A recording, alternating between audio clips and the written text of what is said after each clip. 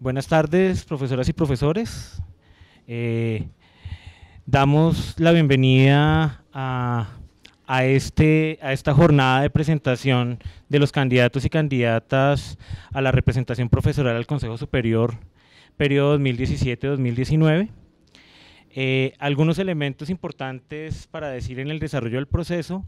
Lo primero es que ya se surtieron eh, el envío de claves a todos, los, a todos los profesores de la universidad pedagógica. Las reclamaciones fueron eh, la semana pasada, el día 23 de mayo. En ese proceso se surtieron 15 reclamaciones y las 15 fueron resueltas en su, en su totalidad.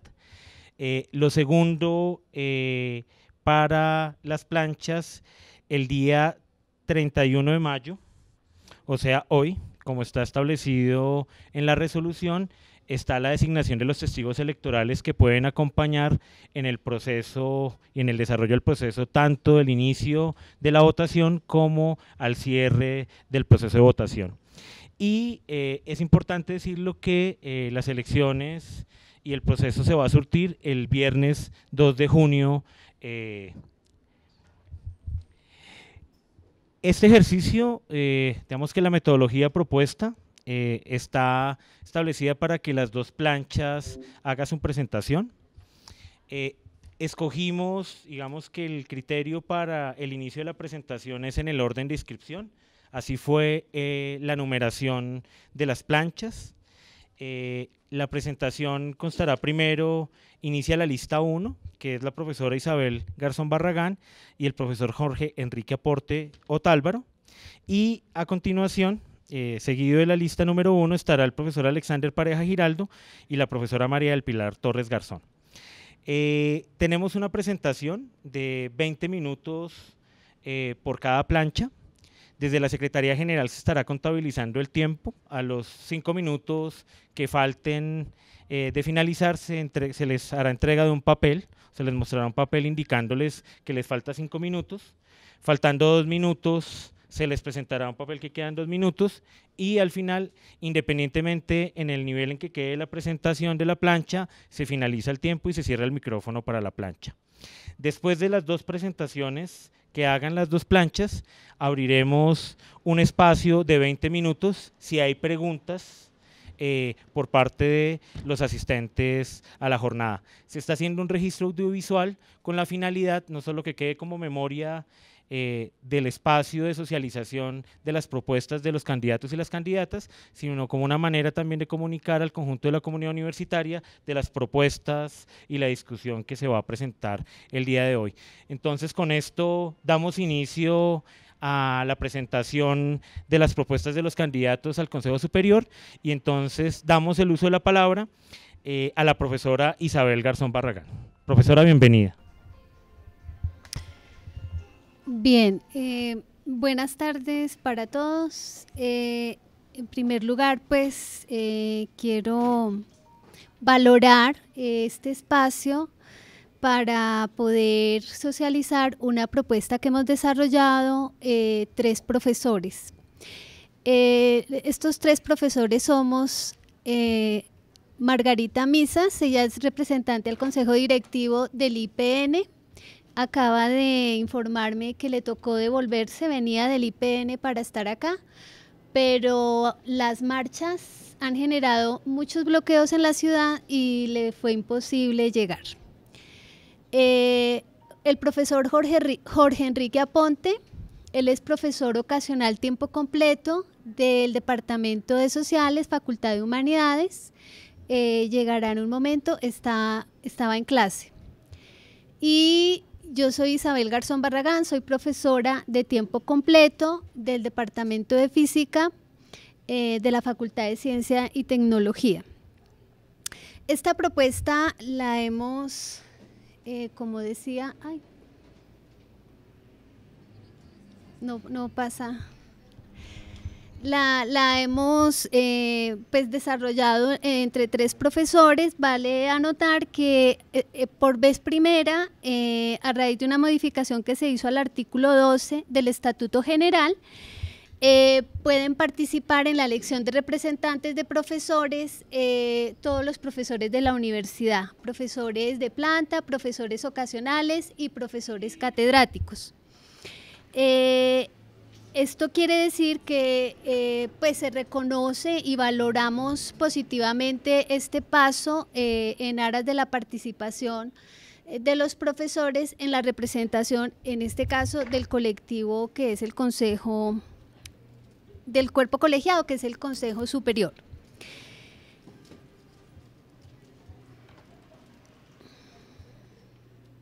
Pasamos a la siguiente, por favor. Bien, sería la siguiente. La propuesta nuestra de representación profesoral tiene en cuenta tanto el contexto nacional y local como el contexto interno. Eh, en el contexto nacional y local, pues tenemos eh, el intento por construir eh, formas de dar, buscar soluciones a los problemas sociales, económicos y de otra índole que vivimos en el país sin seguir matándonos. En ese sentido, pues reconocemos la importancia de apostarle a los procesos coyunturales que se viven como el de construir la paz con los grupos insurgentes. Y en el contexto interno, pues tenemos diversas eh, coyunturas que están atravesando la universidad en este momento, en particular, pues la necesidad de hacer una reforma a, la, pues, a normatividad, normas estructurales de la UPN y eh, nosotros, digamos, preparamos nuestra participación eh, teniendo en cuenta esto. Eh, algunos de los puntos que les vamos a presentar son los que proponemos eh, para orientar inicialmente nuestra propuesta, pero nosotros queremos construir tanto un colectivo eh, de representación, somos tres profesores y vamos a construir ese colectivo a lo largo de la representación, no solamente para la elección, eh, y en esa medida eh, procurar construir canales de comunicación con todos los profesores para eh, revisar, ampliar o revisar o ampliar los puntos que estamos proponiendo. Proponemos propender por la defensa de la financiación de la educación pública universitaria, agenciando propuestas pedagógicas y jurídicas. Cabe recordar que por ejemplo, es necesario apoyar las gestiones que se hagan desde la universidad para que lo que se ganó con la reforma tributaria para apoyar las universidades públicas, pues realmente se dé. Y también es necesario apostarle a desarrollar propuestas pedagógicas que hagan consciente que la necesidad de buscar eh, y propender y defender la financiación de las universidades públicas es una tarea de todos, incluido el colectivo de profesores, y que los representantes eh, hacemos una parte, pero es una tarea que la tenemos que desarrollar entre todos. También eh, proponemos fortalecer la veeduría en torno a la gestión presupuestal y administrativa de la universidad, así como a la proyección de la planta física, eh, es necesario eh, trabajar por condiciones locativas más dignas tanto para los estudiantes como para los profesores y es un elemento adicional a la necesidad pues, de llevar a cabo una gestión presupuestal y administrativa eh, pues clara y digamos atendiendo las necesidades de la universidad. Eh, también proponemos agenciar condiciones de posibilidad para el diseño de políticas y reformulación colectiva de las estructuras normativas en los ámbitos de la docencia, la investigación, la proyección social, el bienestar universitario y en general de los aspectos que afectan a la comunidad educativa y que constituyen el horizonte de sentido de la UPN. Eh, como decía al inicio, eh, estamos trabajando eh, en la universidad por eh, modificación de las normas acordes con las nuevas eh, normatividades que se, pues, que se emanan desde el Ministerio de Educación. Y en ese sentido pues se hace necesario trabajar por la participación de los profesores y el reconocimiento de sus saberes en estas, en estas, en estas reformas. También proponemos generar iniciativas desde la UPN para llevar a cabo encuentros con los representantes a los consejos superiores de las universidades públicas de Bogotá con el propósito de generar políticas para la defensa de la educación pública superior. Aquí cabe anotar que la Universidad Pedagógica ha liderado la, un acuerdo entre las universidades públicas de Bogotá, SUBE Bogotá, eh, que vincula cinco instituciones de educación superior y eh, nos parece muy importante que como representantes profesorales eh, ayudemos a consolidar ese acuerdo de cooperación que se ha establecido y en ese sentido pues procuraremos establecer comunicación para trabajar conjuntamente con los representantes de profesores de estas instituciones en Bogotá. También apoyar las iniciativas que se gestan en la universidad en torno a seguir consolidando el liderazgo de la UPN en el diseño de lineamientos de política pública para mejorar la formación de profesores en el país.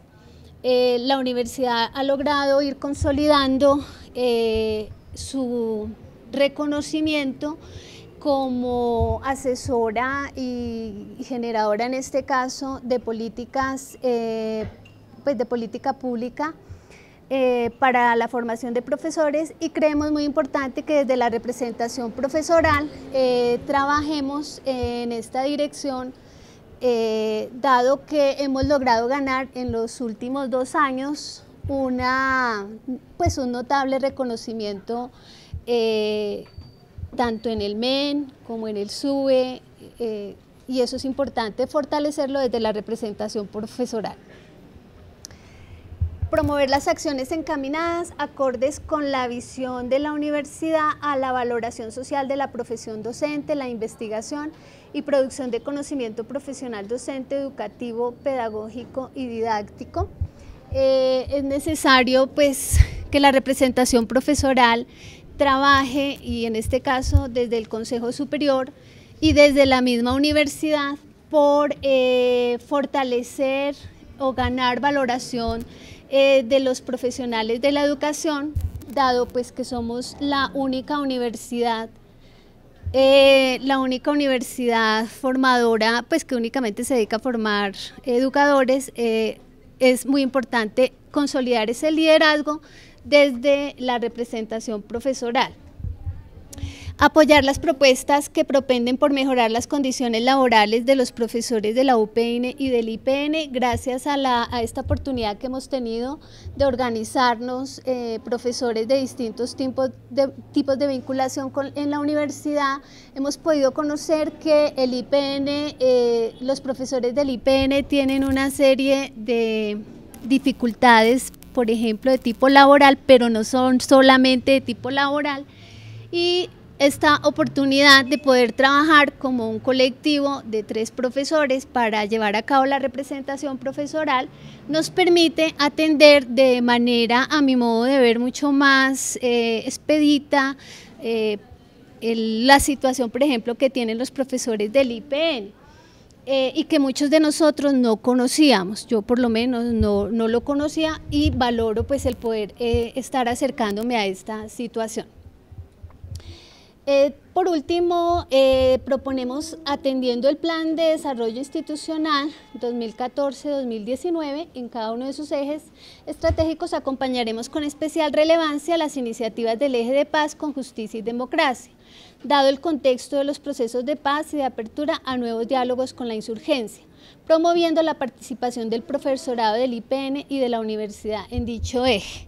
Por ejemplo, eh, en el marco de la unión que se ha dado entre las instituciones de educación superior de Bogotá, SUE, SUE Bogotá, eh, hay una propuesta de, hacer investigación interinstitucional y eh, es orientada desde la perspectiva de apoyar el proceso y los procesos de paz que se intentan construir.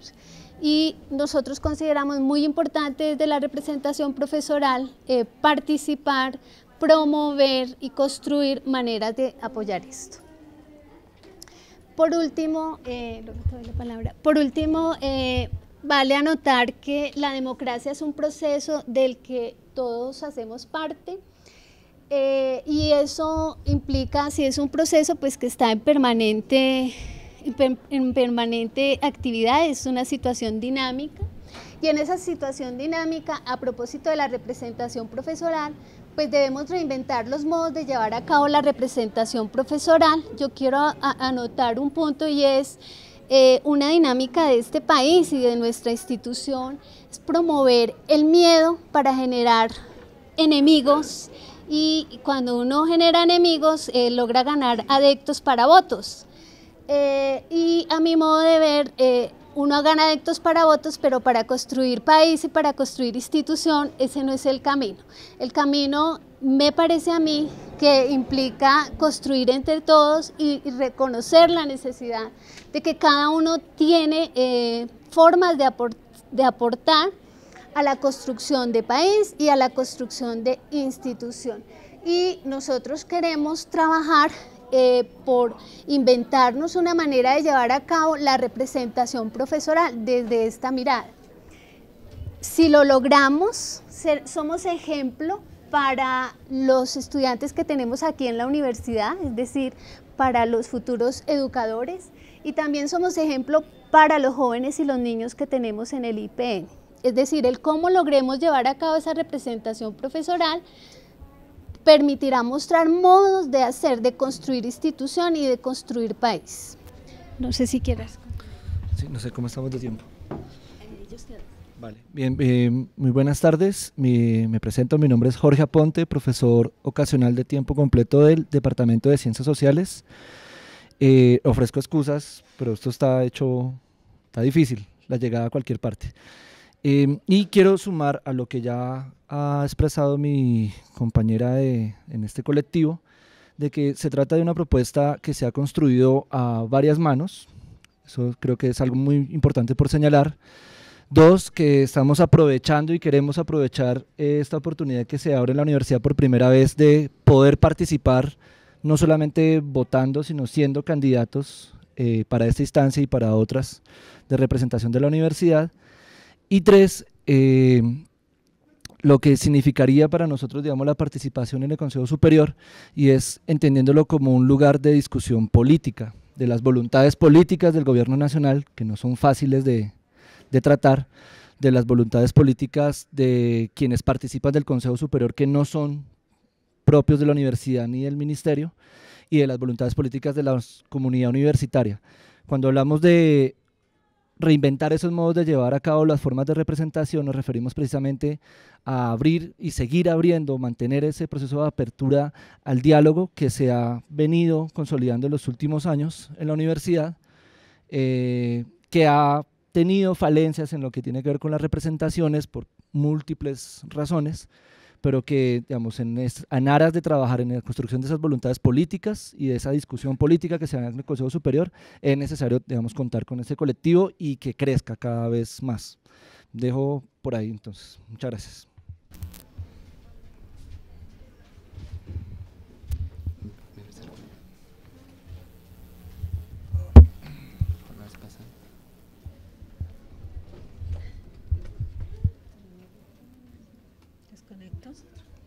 Sí.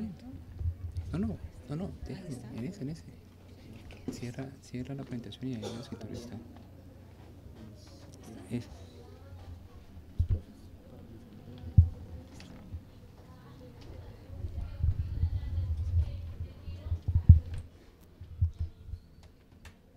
Eh, muy buenas tardes, profesores y profesoras. Eh, agradecemos el tiempo que ustedes se han tomado para asistir a esta presentación. Eh, vamos a iniciar presentándonos quiénes somos y cuál va a ser la metodología de la presentación de la plancha de nosotros. Entonces, eh, inicialmente el profesor Alexander Pareja, profesor de tiempo completo ocasional del Departamento de Tecnología, eh, licenciatura en electrónica, fiscal de ASPU-UPN, secretario nacional de Relaciones Laborales de ASPU y negociador nacional por ASPU en la negociación actual en el gobierno. Yo, quien les habla, María El Pilar Torres Garzón, profesora hora cátedra de la Licenciatura de Educación Especial, miembro principal de la Comisión de Reclamos de ASPU UPN y actualmente presidenta del COPASO 2015-2017.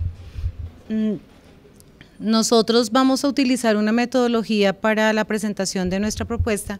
Primero hacemos un diagnóstico y luego planteamos lo que son las propuestas eh, con base en el diagnóstico que se hizo para la elaboración de nuestra propuesta.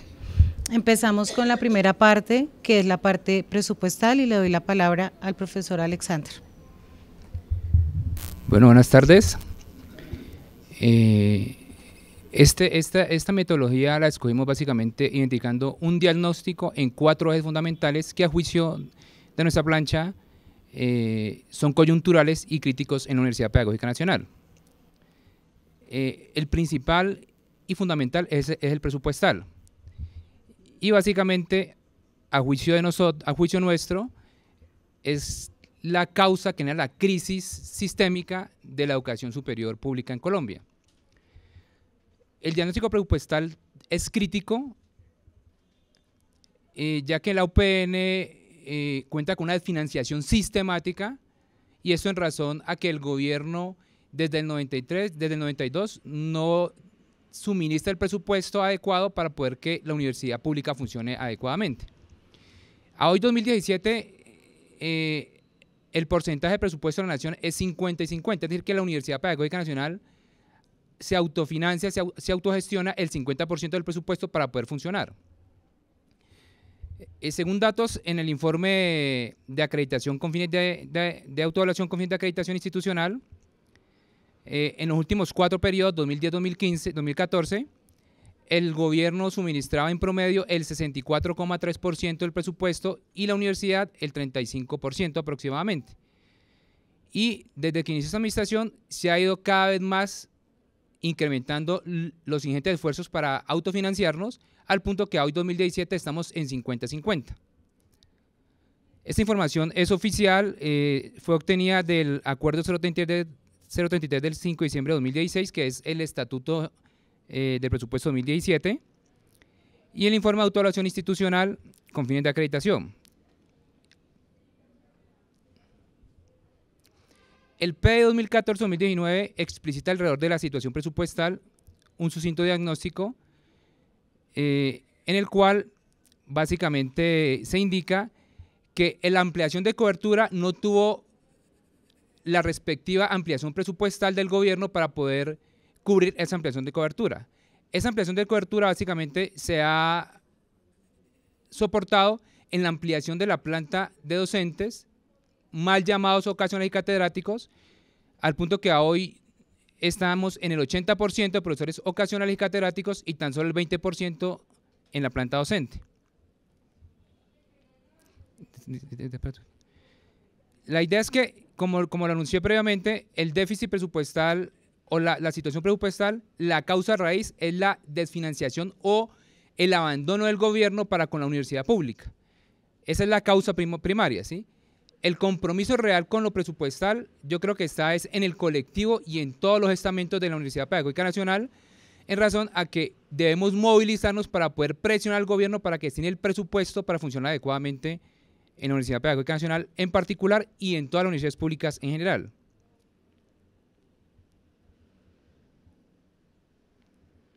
El segundo eje de nuestro diagnóstico es la planta de personal docente de la UPN y del IPN respectivamente.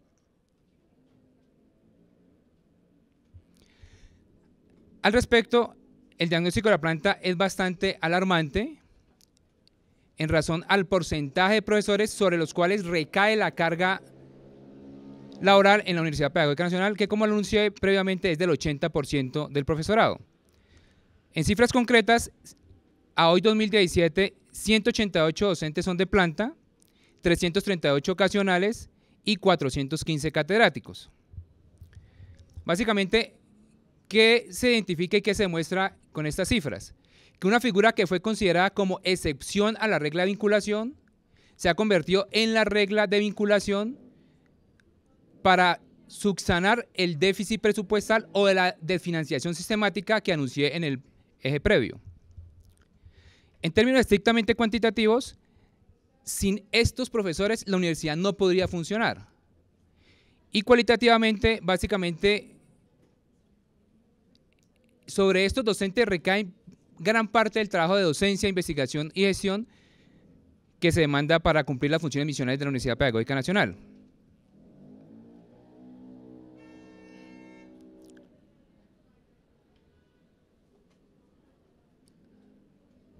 En el PDI sobre este eje también se da unos esbozos de diagnóstico y básicamente se explicita y se confirma lo anunciado por mí en, la, diapositiva previa y básicamente se anuncia textualmente, el número creciente de docentes vinculados bajo dichas modalidades, ocasionales y catedráticos, está asociado de manera directa al incremento en la cobertura en desmero de las condiciones en tiempos de vinculación por cada periodo. Este, esta imagen es muy, muy diciente en ese sentido. Me voy a tomar el tiempo de leerla. Llevo 10 años buscando empleo. Y le dice la otra persona, y dicen que en este país no hay estabilidad. ¿sí? Aquí en la pedagógica hay profesores que llevan 15, 10, 20 años como ocasionales y de un momento a otro los cambian de modalidad o los desvinculan. Hay casos recientes que evidencian esta situación que estoy anunciando en este momento.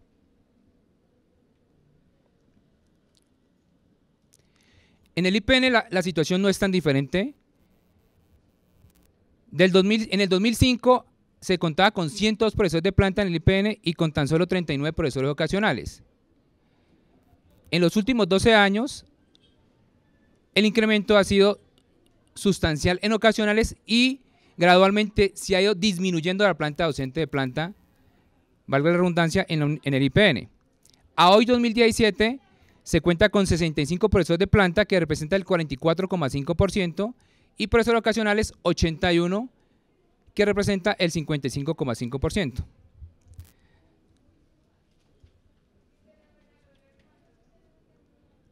El tercer eje diagnóstico es reformas normativas y participación política. En este eje, el diagnóstico es complicado. ¿sí? En, el, eje presupuestal es crítico, en la planta docente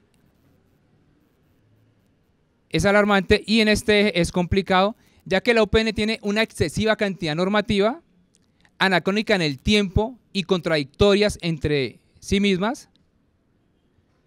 Y este exceso normativo hace muy difícil que el profesorado se dé a la tarea de apropiarse de la normativa que regula su ejercicio docente. Muy frecuentemente se incumple lo establecido en las normas internas. Por citar tan solo ejemplos, el Acuerdo 004-2003 eh, no se cumple plenamente. Hay unidades académicas en las cuales le asignan a los profesores horas lectivas de clase por encima de lo normado en ese acuerdo. Eh, no hay claridad y no determina el acuerdo rubros máximo para apoyo a la docencia. Y el plan de trabajo no se concerta en realidad y de manera efectiva como lo establece el acuerdo. El otro ejemplo normativo que no se cumple es el Estatuto General, que es la norma máxima de funcionamiento de la Universidad Pedagógica Nacional y que se puede asimilar como a la Constitución Política de Colombia. Sería, esa sería la Constitución de la Pedagógica. Concretamente, el artículo que no se cumple es el artículo 59. Me voy a dar a la tarea de leerlo textualmente para indicar por qué no se cumple. A los profesores ocasionales sus servicios les serán reconocidos por resolución y gozarán del régimen prestacional proporcional a sus horas de trabajo. Eso que está subrayado en esta diapositiva no se cumple en este momento en la Universidad Pedagógica Nacional porque a los profesores ocasionales y catedráticos no le reconocen todas las prestaciones sociales en proporción al tiempo de servicio como lo indica este artículo. Si bien este artículo indica que y le da ese derecho a los ocasionales, esto se le debería ampliar y extender a los catedráticos en cumplimiento de la sentencia C06 de 1996. A hoy 2017 a los profesores ocasionales y catedráticos no le reconocen ni vacaciones, ni prima de vacaciones, ni prima de servicios, ni bonificación por servicios prestados. Y ese no reconocimiento implica un déficit no reconocido por la administración. que a 2015, en los cálculos que se surtió en la negociación con la administración, ascendía a 3.250 millones de pesos para todos los profesores de la universidad. A hoy 2017, estimo que eso debe ascender más o menos a 4 millones de pesos. Entonces, es un déficit no reconocido para hoy 2017 que estamos en un superávit supuesto de 500 millones de pesos en el presupuesto de la universidad.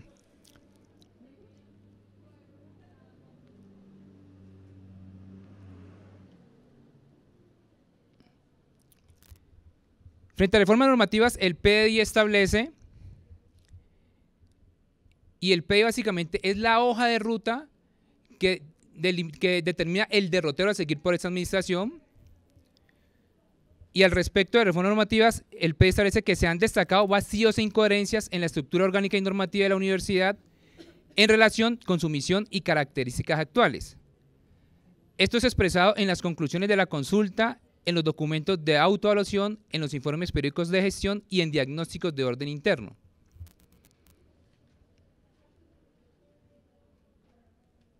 Y el cuarto y último eje del diagnóstico es el relacionado con planta física. Este diagnóstico es bastante desalentador a juicio de esta plancha. La Casa de los Maestros carece de un campus universitario que garantice una casa digna para el desarrollo de las actividades misionales de la comunidad universitaria se presentan problemas de hacinamiento en las aulas de clases, edificios con problemas de, deterioro en su infraestructura, profesores sin un espacio adecuado y digno para su labor. Aquí los profesores, la mayoría no cuentan con una oficina para su trabajo y la necesidad de acudir al arrendamiento para poder prestar los servicios educativos y administrativos de la Casa de los Maestros. Alrededor de este cuarto y último eje del diagnóstico, el PDI expresa textualmente la sede de la universidad, abro comillas, amenaza en ruina. Situación evidente en la cotidianidad de estudiantes, profesores, trabajadores y funcionarios administrativos. Los organismos de control también han llamado la atención con respecto a esta situación. El subrayado es propio. Y esta imagen pues es muy diciente de la situación y se asocia mucho a esa entrecomillado que se resalta en el PDI textualmente de la administración.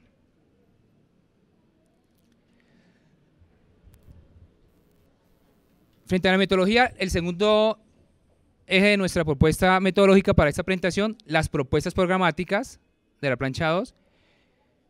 Y agregamos un eje adicional que es un eje general. Y ese eje general básicamente se centra en gestionar y promover en el CSU la ejecución y cumplimiento del derrotero trazado en el PI 2014-2019 y los planes de acción anuales que proyecten su desarrollo, sobre todo los programas y proyectos que incidan en el estamento que representamos. El rector en sus dos informes anuales que ha surtido hasta el momento, eh, estratégicamente lo ha dividido en los ejes del PDI y en el cumplimiento del PDI. Entonces, esta propuesta busca precisamente eso, es hacer veeduría y seguimiento al cumplimiento de ejecución del PI de esa administración.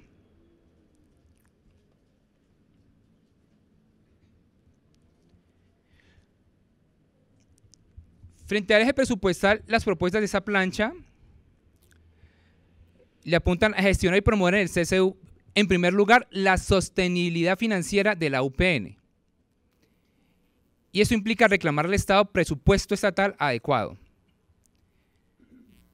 Como anuncié al principio, esto es una labor de todos, de todos los estamentos, no solo el estamento profesoral, sino de toda la comunidad, y eso se logra por vía de movilización. La coyuntura actual del paro de FECODE nos demuestra que las vías de hecho funcionan y se logran resultados efectivos por medio de estas vías de hecho. El segundo la segunda propuesta es que el presupuesto adicional de la reforma tributaria se destine para formalización laboral docente, concretamente para los, para los profesores mal llamados ocasionales y catedráticos de la UPN.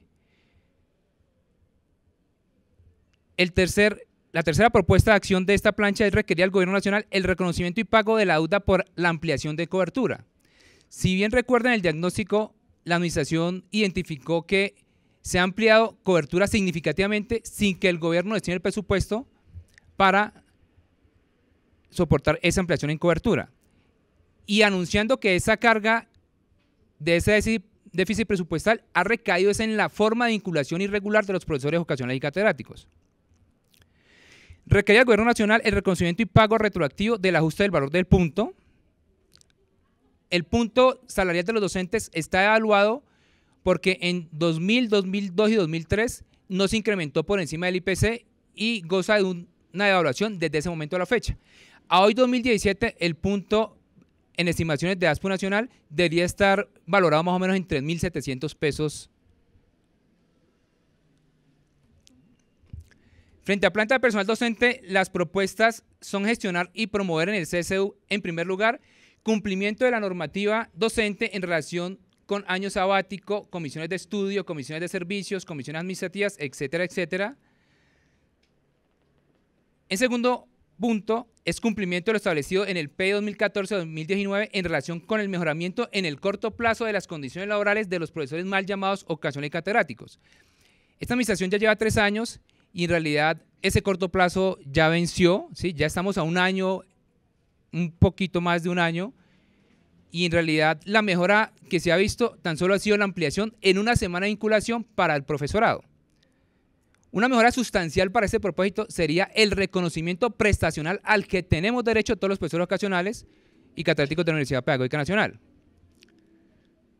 El tercer eje propositivo de la planta personal docente es formalización laboral gradual durante los próximos cinco años de los profesores mal llamados ocasionales catedráticos. Y esta gradualidad le apunta a que se proyecten ampliación en cada año y que esa ampliación eh, se logre concertadamente entre la administración y el profesorado, intentando garantizar la vinculación de los profesores que llevan, por ejemplo, como ocasionales 20 años, 15 años, 10 años, y que esa gradualidad se, surta en esos términos, ¿sí? Y el cuarto eje propositivo es cumplimiento de la normativa interna y de las sentencias de las altas cortes, concretamente de la circular 053 del 13 de diciembre de 2016, que básicamente le apunta a lo que ha anunciado que no se reconoce a los profesores ocasionales y catedráticos a hoy 2017, las prestaciones sociales en proporción al tiempo de servicio. Frente a la planta docente también nos proponemos propiciar una discusión pública abierta de cara a todos los estamentos de la UPN y del EPN en lo relacionado con la precarización laboral docente, la informalidad del trabajo, la proletarización docente y el carácter público y privado del IPN. Hay una incertidumbre jurídica frente al carácter real del IPN como institución pública o privada. De hecho, ayer en el espacio del IPN, eh, esta plancha gestionó que se concretara una reunión con los profesores del IPN con el propósito de que ellos también escucharan las dos planchas y las dos propuestas programáticas y de, esa, de ese espacio, eh, dos profesores nos abordaron al final de, la reunión, el profesor José Melo y Luz Adriana Castañeda, eh, para también aportarle a las iniciativas de esta plancha.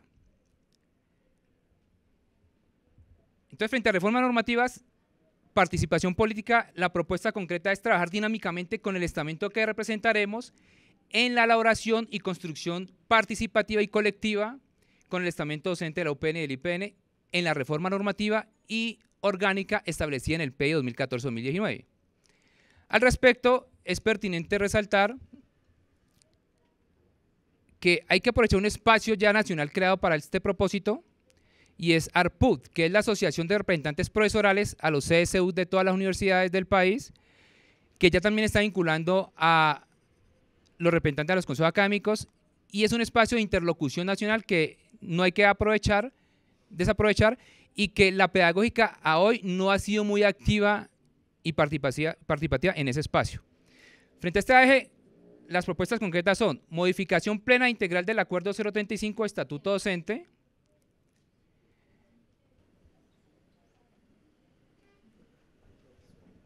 Bueno, eh, agradecemos la participación de, los dos, de las dos fórmulas de candidatos y continuando con el orden del día, damos espacio para la sesión de preguntas. Eh, les recordamos a los candidatos que cuentan con dos minutos para dar respuesta a, las preguntas dirigidas. Eh, colocamos de forma que la, la persona que desea hacer pregunta dirija a la lista número uno eh, integrada por la profesora Isabel y el profesor Jorge, o a la lista número 2, eh, integrada por el profesor Alexander y la profesora María del Pilar. Entonces, damos inicio a la sesión de preguntas.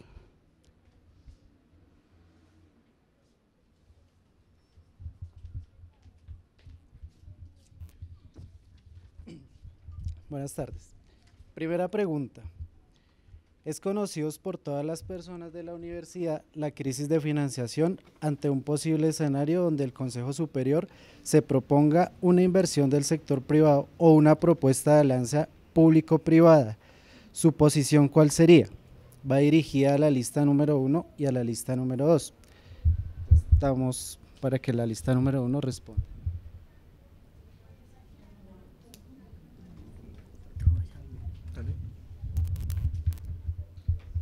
Bien, hasta, hasta donde tengo entendido, eh, se decidió eh, ya en una reunión amplia que citó el señor rector en el aula multipropósito que dado que muchos estamentos de la universidad, los distintos estamentos, empleados, profesores, estudiantes, no estaban de acuerdo con hacer una hacer, hacer vínculos con el sector privado para adelantar eh, los trabajos requeridos en la planta física de la universidad, eso ya fue, o sea, eso ya fue dejado de lado hasta donde yo entiendo. Y si es así, lo que toca mirar es cómo se va a hacer y cómo lo vamos a hacer. A mí incluso me llama la atención ver todavía carteles eh, señalando eso, siendo que ya se llegó a un acuerdo y que eso no se va a hacer. Sí, mire, yo quiero agregar lo siguiente y es que en ese escenario no solamente se planteó, a quien haya formulado la pregunta, eh, no solamente se planteó esa propuesta de la alianza público-privada, sino que se plantearon cuatro propuestas que nunca fueron encubiertas, nunca se trataron o se pactaron por debajo de la mesa. Se hizo el planteamiento claro, preciso a todo el mundo, sin haber tomado la decisión, y es el mismo CSU encabezado por la administración de la universidad, quien decide hay que someterlo a la discusión de, todo el estamento universitario, de los estamentos universitarios. Entonces, no, no hay que concentrarse solamente en la alianza público-privada, eh, porque habían cuatro propuestas, una de ellas la movilización, pero ojo, si hay una situación crítica, no por la alianza público-privada, sino por la situación de infraestructura de la universidad. Tienen dos minutos para responder. Bueno, alrededor de este tema, pues básicamente era nuestra última eje propuesta del planta física y nosotros le apuntamos a la defensa irrestricta de la UPN como universidad pública y oposición a todas las formas de privatización abiertas y encubiertas. Lo que pasó frente a la alianza público-privada se dio a la luz pública fue básicamente poner escrito del colega Hernán Cantor. Ya se había surtido un primer proceso de debate en el CSU de esa iniciativa y en las decisiones del CSU que están públicas se decidió al respecto que en la próxima sesión se presentará el estudio de prefactibilidad de esa propuesta. Entonces, por el artículo del colega Hernán Vega Gantor fue que se generó el escenario de apertura democrática y pública se los debates y finalmente en un escenario de debate público convocado por la administración fue que toda la comunidad rechazó de plano esa iniciativa y ahí fue donde se decidió suspender el trámite a esa, propuesta. ¿sí? Quiero precisar eso porque en realidad eso se dio a la luz pública fue por un escrito del, Renan Vega Cantor. Hasta antes de ese escrito del Renan Vega Cantor no se conocía públicamente de esa, de, esa iniciativa y fue a partir de ahí que se evidenció esa, esa crisis. Frente a esa, esa situación, nosotros promovemos desde nuestra representación requiere al gobierno nacional el presupuesto para construir una casa digna. Y eso se, requiere, se, logra con movilización de todos los estamentos. La siguiente pregunta va para las dos fórmulas. ¿Qué propuestas tienen para luchar y mejorar las, las condiciones de contratación de los profesores en la UPN?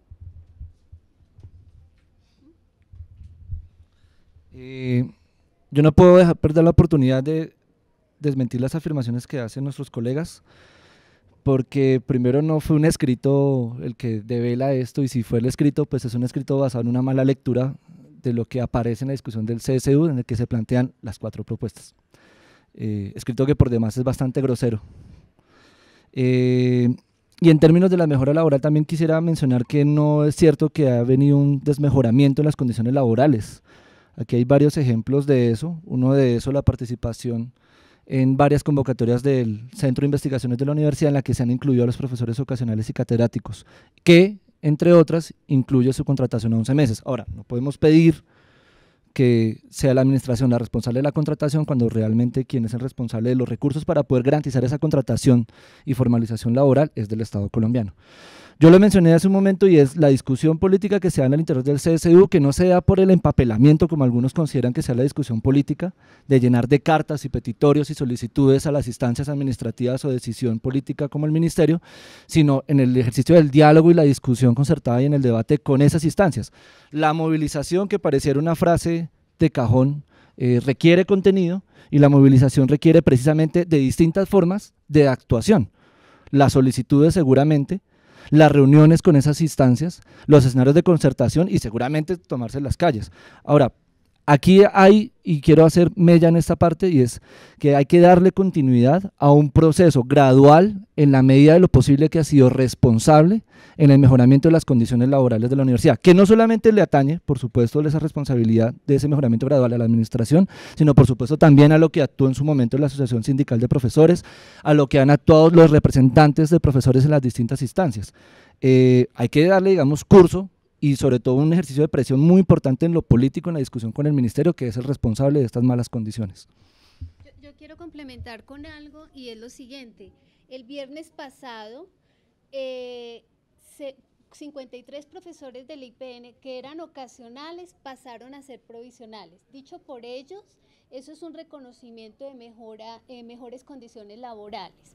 Es decir, a mí sí me parece importante no caer en esto de construir el enemigo aquí adentro, porque yo no creo que el enemigo esté aquí adentro. A mí me parece que en la situación actual la universidad ha ido eh, en la medida de lo posible y de las condiciones que tiene, reconociendo los derechos de los profesores ocasionales, catedráticos, los profesores del IPN y me parece que las cosas buenas hay que reconocerlas. Solamente, y, incluso de manera eh, poco sincera, decir que todo lo que se está haciendo es mal para los profesores, solo reivindicarlo, lo, lo salarial, me parece que pone un interrogante que habría que pensar. Creo que el problema de presupuesto que está originado por la manera como el Estado colombiano maneja eh, el presupuesto de la nación tenemos que ver cómo afrontamos ese problema como universidad hacia afuera. Hoy, por ejemplo, nos llegó un dato de la Universidad de Antioquia en relación al dinero que se está pasando a las universidades privadas eh, a través del programa Serpilo Paga por una política del Estado que prefiere financiar, eh, financiar la demanda y no la oferta. Y la las cinco universidades que se están llevando gran parte del presupuesto de, la educación superior son la Universidad del Norte, 47 mil millones de pesos 2015-2016, Los Andes, Javeriana, Salles, Sabana.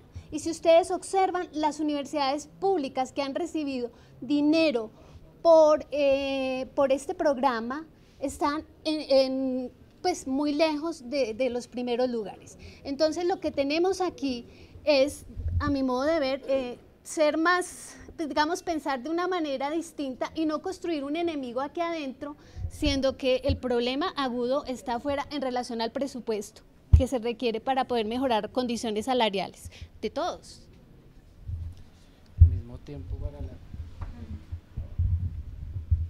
Bueno, alrededor de este asunto de la, de la mejora de las condiciones laborales de los profesores ocasionales y catedráticos de la pedagógica, eh, si bien es cierto, el gobierno nacional es el competente para lo presupuestal, hay un argumento que esgrime tanto el gobierno nacional como la universidad, y es la autonomía universitaria.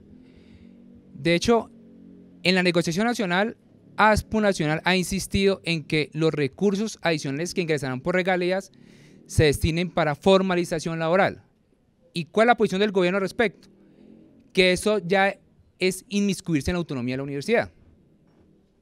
En sesión del Consejo Académico antepasada, si mal no recuerdo, en la cual estuvo Alexander Aldana y el suscrito como fiscal de ASPU, le planteé esa iniciativa de ASPU Nacional y el rector también me manifestó en el mismo sentido, que eso ya era marco de la autonomía y que ya el CSU era el que decidía cómo destinar esos recursos adicionales de reforma tributaria, si eran para formalización o para qué rubro específico lo destinaban. Entonces, si bien es cierto que el gobierno nacional es competente para eso, hay un caballito de batalla que argumenta tanto el gobierno como la universidad, que es la autonomía universitaria, y tenemos un precedente muy reciente de que la autonomía no es ilimitada. ¿sí? La autonomía tiene límites y los límites de la autonomía están en el respeto de los derechos fundamentales de los miembros de la comunidad académica de la Universidad Pedagógica Nacional.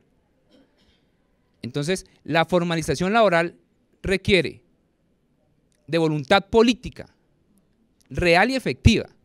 Y eso implica gestionar el presupuesto adecuado para ese propósito.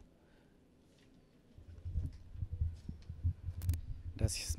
Siguiente pregunta va dirigida también a las dos listas.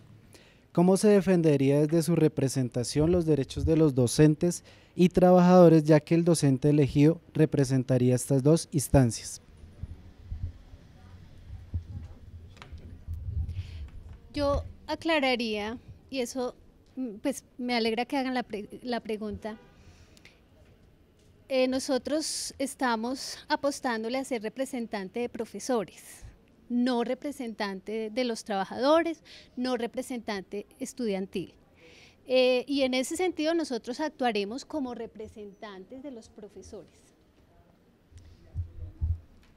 Y hay que sumarle algo y es digamos, la inexistencia precisamente y la disparidad que existe en estos órganos de representación de otros estamentos uno que ya mencionaron, que es el de los trabajadores, que digamos, en el marco de la reforma orgánica, de la reforma normativa de la universidad, es necesario poner en discusión y plantear la necesidad de otras instancias de representación de esos estamentos que les permita realmente eh, ser representados en esas instancias de decisión.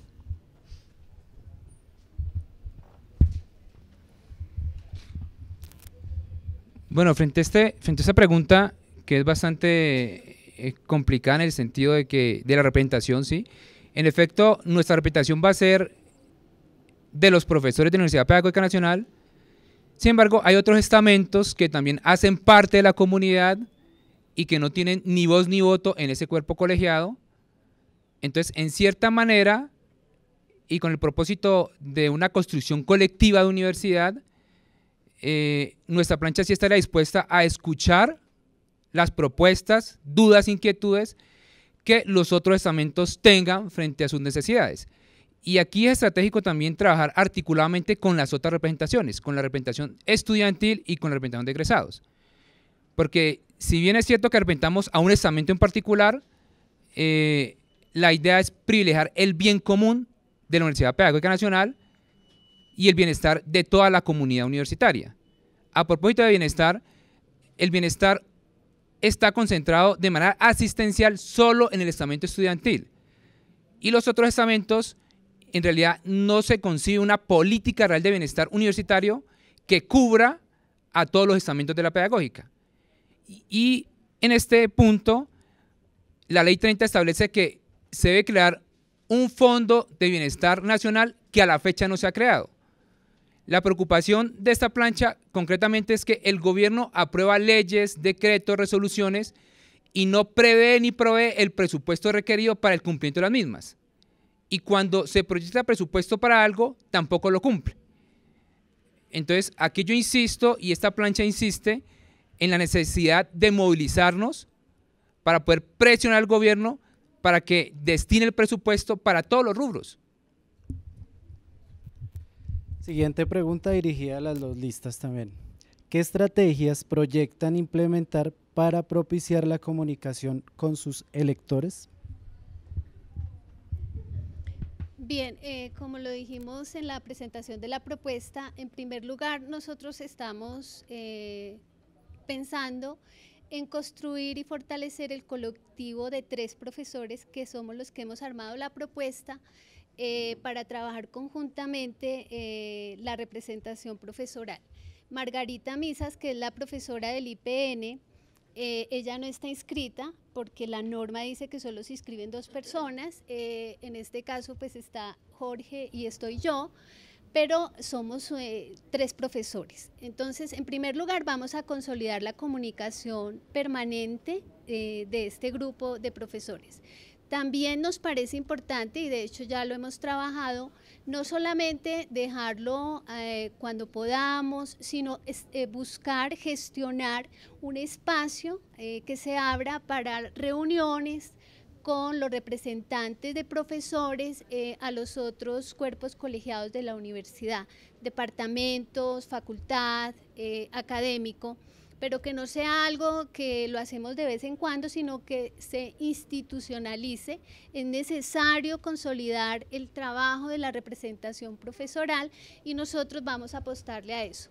En la medida en que logremos consolidar ese trabajo, ese equipo de, representantes profesorales, podremos trabajarle a la comunicación con los demás colegas porque definitivamente eh, si queremos construir institución y queremos construir país, no podemos esperar que solo un grupo de representantes lo hagan, sino eh, tenemos que hacerlo los representantes y fortalecer la comunicación para lograr pedagógicamente vincular a los profesores, que no es nada simple, como lo hemos visto los que ya estamos aquí algún tiempo en la representación.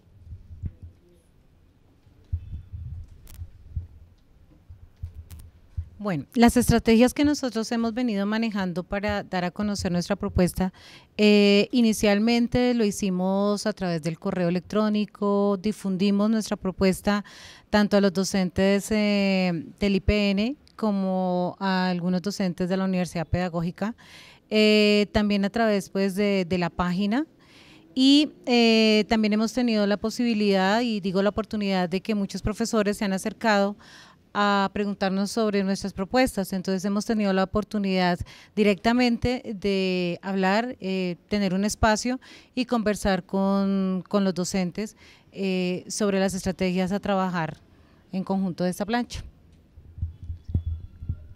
Alrededor de este tema también sería estratégico recuperar un espacio que está creado en la página de la pedagógica, eh, hay un link para que los representantes a profesores, estudiantes y egresados eh, publiquen sus informes, interlocuten con la comunidad. Entonces sería, en la medida de lo posible, si llegamos a quedar elegidos, pues recuperar ese espacio y también eventualmente eh, convocar espacios para informe de reunión de cuentas de nuestra gestión en el CSU. Siguiente pregunta dirigida a las dos listas. ¿Cómo actuar cuando un docente cumple con su labor y es perseguido por esto? ¿Cómo se defendería en lo referente al acoso laboral?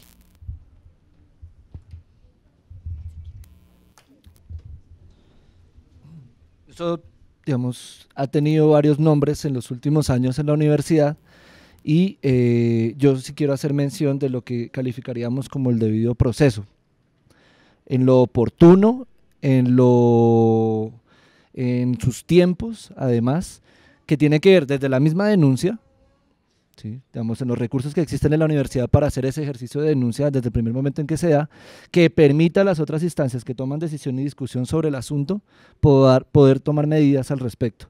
Eh, yo creo que puede ser un poco eh, tendencioso pensar que no ha existido el debido proceso en la universidad o que no se ha respetado, a no ser, a no ser de que existan denuncias nuevas al respecto.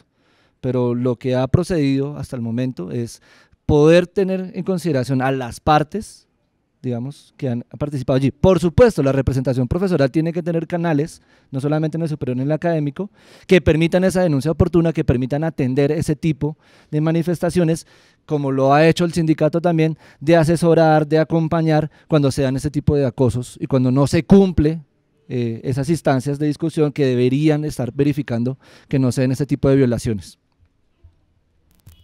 Por petición de la lista repito la pregunta. ¿Cómo actuar cuando un docente cumple con su deber y es perseguido por esto? ¿Cómo se defendería en lo referente al acoso laboral? Bueno, aquí en este aspecto la situación es bien compleja eh, ya que la universidad no tiene voluntad política para dialogar con ese docente que se encuentra acosado laboralmente. Eh, en una pregunta anterior, no sé si fue la segunda o la tercera pregunta, eh, hablaban algo sobre la contratación, sobre cómo mejorar esa parte de contratación docente. Desafortunadamente tenemos mm, en la universidad lo que llamamos eh, la autoridad de cada departamento, de cada licenciatura, y lamentablemente los profesores son acosados por X o Y situación, no específica, no se dice. Entonces es muy difícil que el docente tenga algún respaldo desde el punto de vista administrativo, sobre todo los docentes ocasionales y catedráticos, en cuanto a la parte de contratación. Fácilmente un docente de 25 años, eh, siendo ocasional tiempo completo, en un año o en seis meses eh, puede ser desmejorado a catedrático 10 horas, 6 horas, 8 eh, aunque se supone que la norma lo dice que son ocho horas, pero hay docentes que están de tiempo completo y pasaron a seis horas. Es muy difícil de verdad el acompañamiento desde el punto de vista administrativo como tal para este tipo de situaciones. Eh, manejar el acoso laboral en la universidad requeriría de una voluntad política para que esto pudiera llevarse a buenos términos. Comprendiendo lo que plantea la, la colega de plancha, al respecto es necesario primero eh, reglamentar conforme a la ley la estructura del comité de convivencia laboral. Esta ley establece que ese comité debe ser conformado de manera bipartita, con representación de cada estamento, profesores, trabajadores administrativos, y a hoy, 2017, el comité está constituido solo por miembros delegados por la administración. Está el vicedirector administrativo financiero, la jefe jurídica, el jefe personal y dos designados por el rector. Entonces, ahí no hay garantías de respeto al debido proceso en esas condiciones. Siguiente pregunta va dirigida a la lista número uno. ¿Podrían ampliar las iniciativas específicas que formulan en relación con los ejes temáticos que plantearon?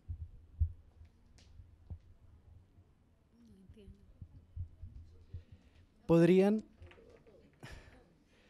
¿Podrían ampliar las iniciativas específicas que formulan en relación con los ejes temáticos que plantearon?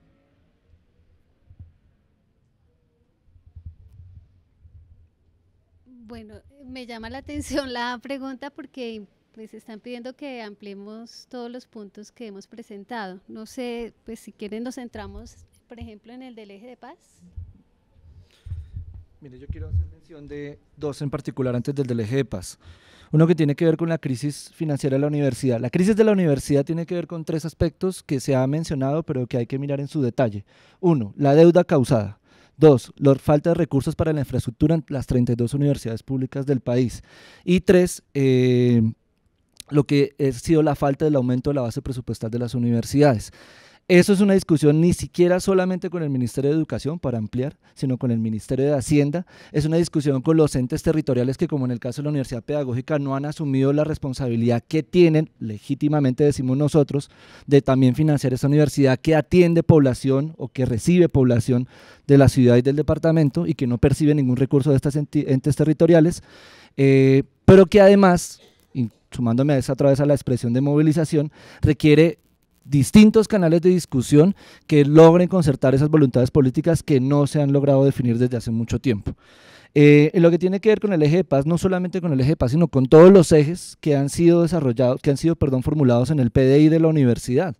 Eh, uno, se trata de un PDI que por primera vez no fue construido con el pago a unos asesores externos, sino que fue construido con la participación de buena parte de toda la comunidad, que no le costó un peso de asesores a la universidad.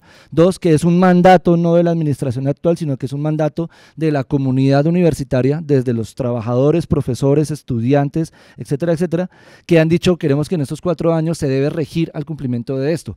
¿Se ha logrado o no se ha logrado? Ha sido por las dificultades presupuestales que ya mencioné desde un principio, pero además por la falta también de voluntad interna de quienes no han querido arremangarse y ponerse a trabajar y se han dedicado a escribir epítetos insultando a la gente. La siguiente pregunta va dirigida a la lista número 2. ¿Cómo se piensa construir una agenda para que mejoren los problemas estructurales de la UPN si ni siquiera se reconocen los logros generados en esta administración ni se percibe una disposición para trabajar mancomunadamente. ¿Cuál es la diferencia entre la representación profesoral y la agenda de ASPO?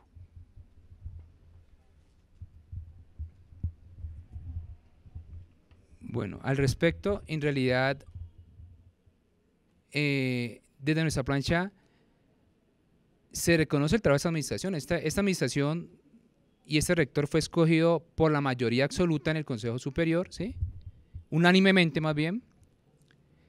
Y de hecho, ASPO apoyó al rector en su candidatura. Eh, nuestra propuesta articulada a la administración es el eje central de nuestro actuar, que es la ejecución y cumplimiento del PDI.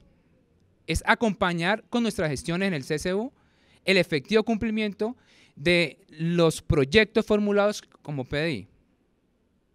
Incluso a hoy 2017 ya hay varios proyectos y temáticas que por cuestiones coyunturales de tiempo no se van a alcanzar a cumplir. Una de ellas es lo de la modificación o la reestructuración y elaboración participativa y colectiva de toda la comunidad del PI. Había un presupuesto destinado para ello y ya en tres años no se ha iniciado trabajo en ese aspecto o por lo menos no se ha dado a conocer públicamente. Entonces, ese, ese proyecto por lo menos dudo mucho que se pueda ejecutar en esta administración. Y otro proyecto que, que, que, está en duda en este momento y que desde esta representación se intentará jalonar su ejecución efectiva es lo de la reforma plena integral al Estatuto General, que a juicio nuestro es la primera norma llamada a reformar antes que cualquier otra norma. Porque las otras normas básicamente están sujetas al Estatuto General. Si reformamos otras normas antes del Estatuto General, vamos a caer en el anacronismo en tiempo de la normativa, como estamos en este momento, en razón de que eh, hay antinomias en diferentes normas. Por ejemplo, el estatuto docente nos da el derecho a elegir y elegidos, pero el estatuto general no lo quita. ¿sí? Y como el estatuto general es norma superior, pues obviamente se acoge a lo que dice el estatuto general. Hoy este espacio está abierto gracias a las gestiones de ASPU-PN para poder que se modificara parcialmente el estatuto general, pero solo se modificó y se permitió la participación al CSU. La propuesta de ASPU era apuntarle a subsanar tanto lo del Consejo Académico, los, los consejos de facultad, y la administración simplemente dijo que lo más urgente era el CSU y por ello solo se modificó ese artículo. La siguiente pregunta va dirigida a la lista número uno. Dado que ustedes proponen como ejes fundamentales la formación para la paz, ¿Cuál es el compromiso del gobierno nacional con dicha formación en la universidad? Por ejemplo, se, habla de que en la UPN forma combatientes, pero ustedes saben si el gobierno le ha destinado o le destinará presupuesto para tal fin. Por gestión de la Universidad Pedagógica, no solamente en cabeza del grupo de trabajo del eje de paz, sino de las vicerrectorías que han estado encargadas del tema, eh, se presentó una propuesta de educación para el posacuerdo en la mesa de La Habana mientras transcurría aún la mesa de diálogos. A partir de esa gestión, con el grupo de gobernabilidad del sistema universitario estatal, que participaron como delegación en La Habana, se presentó a las 32 universidades y las 32 universidades se sumaron a la iniciativa de contribuir a todo el programa de formación de educación para el posacuerdo en distintas instancias que van desde alfabetización, titulación como bachilleres, eh, reconocimiento de saberes previos y profesionalización, no solo para excombatientes, sino también para comunidades víctimas y afectadas por el conflicto armado. Al momento, lo que ha venido sucediendo es que el gobierno nacional, porque me preguntan por el, nos preguntan por el gobierno nacional, el gobierno nacional no ha contemplado, no ha recogido esa iniciativa por parte del sistema universitario estatal, después de que se han adelantado varias propuestas, se han presentado varias propuestas, y ha preferido hacerlo por otras vías o instancias que no se han logrado consolidar. Una de ellas era, por ejemplo, bajo el sistema de educación terciaria que lo querían pasar por el esquema de Fast Track, pero que se logró detener y que hoy por hoy ha permitido que varias universidades públicas, por ejemplo el SUBE Bogotá, pueda ir contemplando el diseño, la ejecución y ya en este momento el desarrollo de proyectos de educación de distintos niveles en las zonas vereales transitorias de normalización y en la ciudad con excombatientes y con comunidades víctimas. eh, esto es un problema de voluntad política también porque entonces es el beneficio de las 32 universidades públicas y su reconocimiento no solamente en procesos de educación, de profesionalización, sino en otros ámbitos, sino también el beneficio que se le da nuevamente a las universidades privadas que tienen otras condiciones, no solamente económicas, sino que tienen otras condiciones de infraestructura que podrían aventajar a las universidades públicas en el caso de un proceso de licitación. En eso va el asunto. Muchas gracias. Terminamos con la ronda de preguntas. Agradecemos a las dos listas por la presentación, a los asistentes, muchas gracias. El video quedará publicado en los canales de, la universidad para información de la comunidad universitaria. Señora.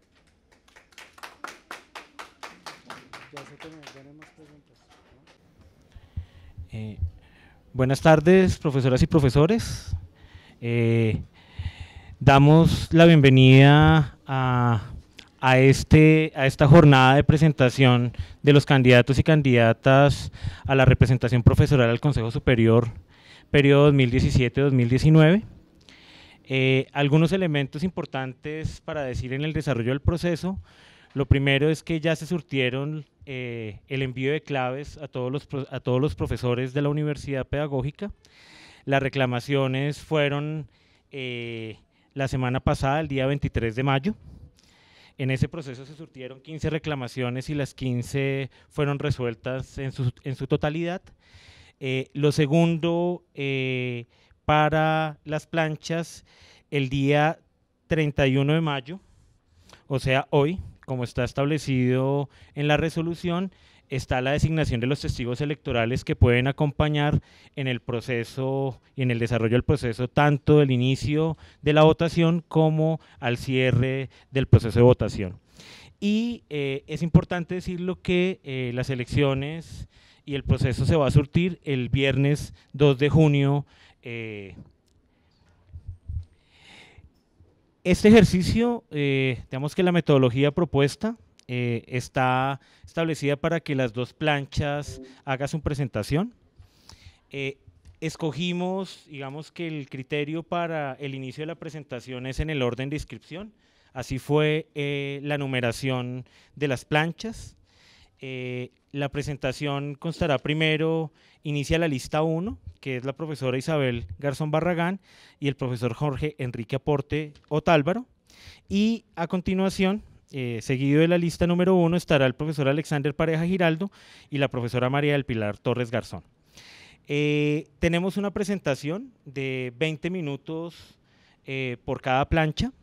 Desde la Secretaría General se estará contabilizando el tiempo. A los cinco minutos que falten de finalizar se, se, les hará entrega de un papel, se les mostrará un papel indicándoles que les falta cinco minutos. Faltando dos minutos se les presentará un papel que queda en dos minutos y al final, independientemente en el nivel en que quede la presentación de la plancha, se finaliza el tiempo y se cierra el micrófono para la plancha. Después de las dos presentaciones que hagan las dos planchas, abriremos un espacio de 20 minutos si hay preguntas eh, por parte de los asistentes a la jornada. Se está haciendo un registro audiovisual con la finalidad no solo que quede como memoria eh, del espacio de socialización de las propuestas de los candidatos y las candidatas, sino como una manera también de comunicar al conjunto de la comunidad universitaria de las propuestas y la discusión que se va a presentar el día de hoy. Entonces, con esto damos inicio a la presentación de las propuestas de los candidatos al Consejo Superior y entonces damos el uso de la palabra eh, a la profesora Isabel Garzón Barragán. Profesora, bienvenida.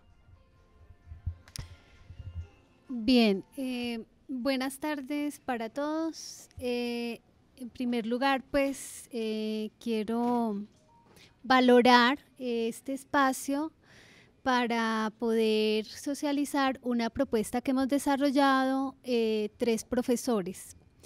estos tres profesores somos Margarita Misas, ella es representante del Consejo Directivo del IPN, acaba de informarme que le tocó devolverse, venía del IPN para estar acá, pero las marchas han generado muchos bloqueos en la ciudad y le fue imposible llegar.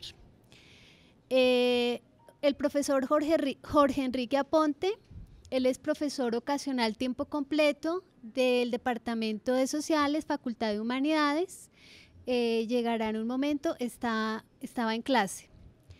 Y yo soy Isabel Garzón Barragán, soy profesora de tiempo completo del Departamento de Física eh, de la Facultad de Ciencia y Tecnología. Esta propuesta la hemos, eh, como decía, ay, no, no pasa. La, hemos eh, pues desarrollado entre tres profesores. Vale anotar que eh, por vez primera, a raíz de una modificación que se hizo al artículo 12 del Estatuto General, pueden participar en la elección de representantes de profesores, todos los profesores de la universidad, profesores de planta, profesores ocasionales y profesores catedráticos.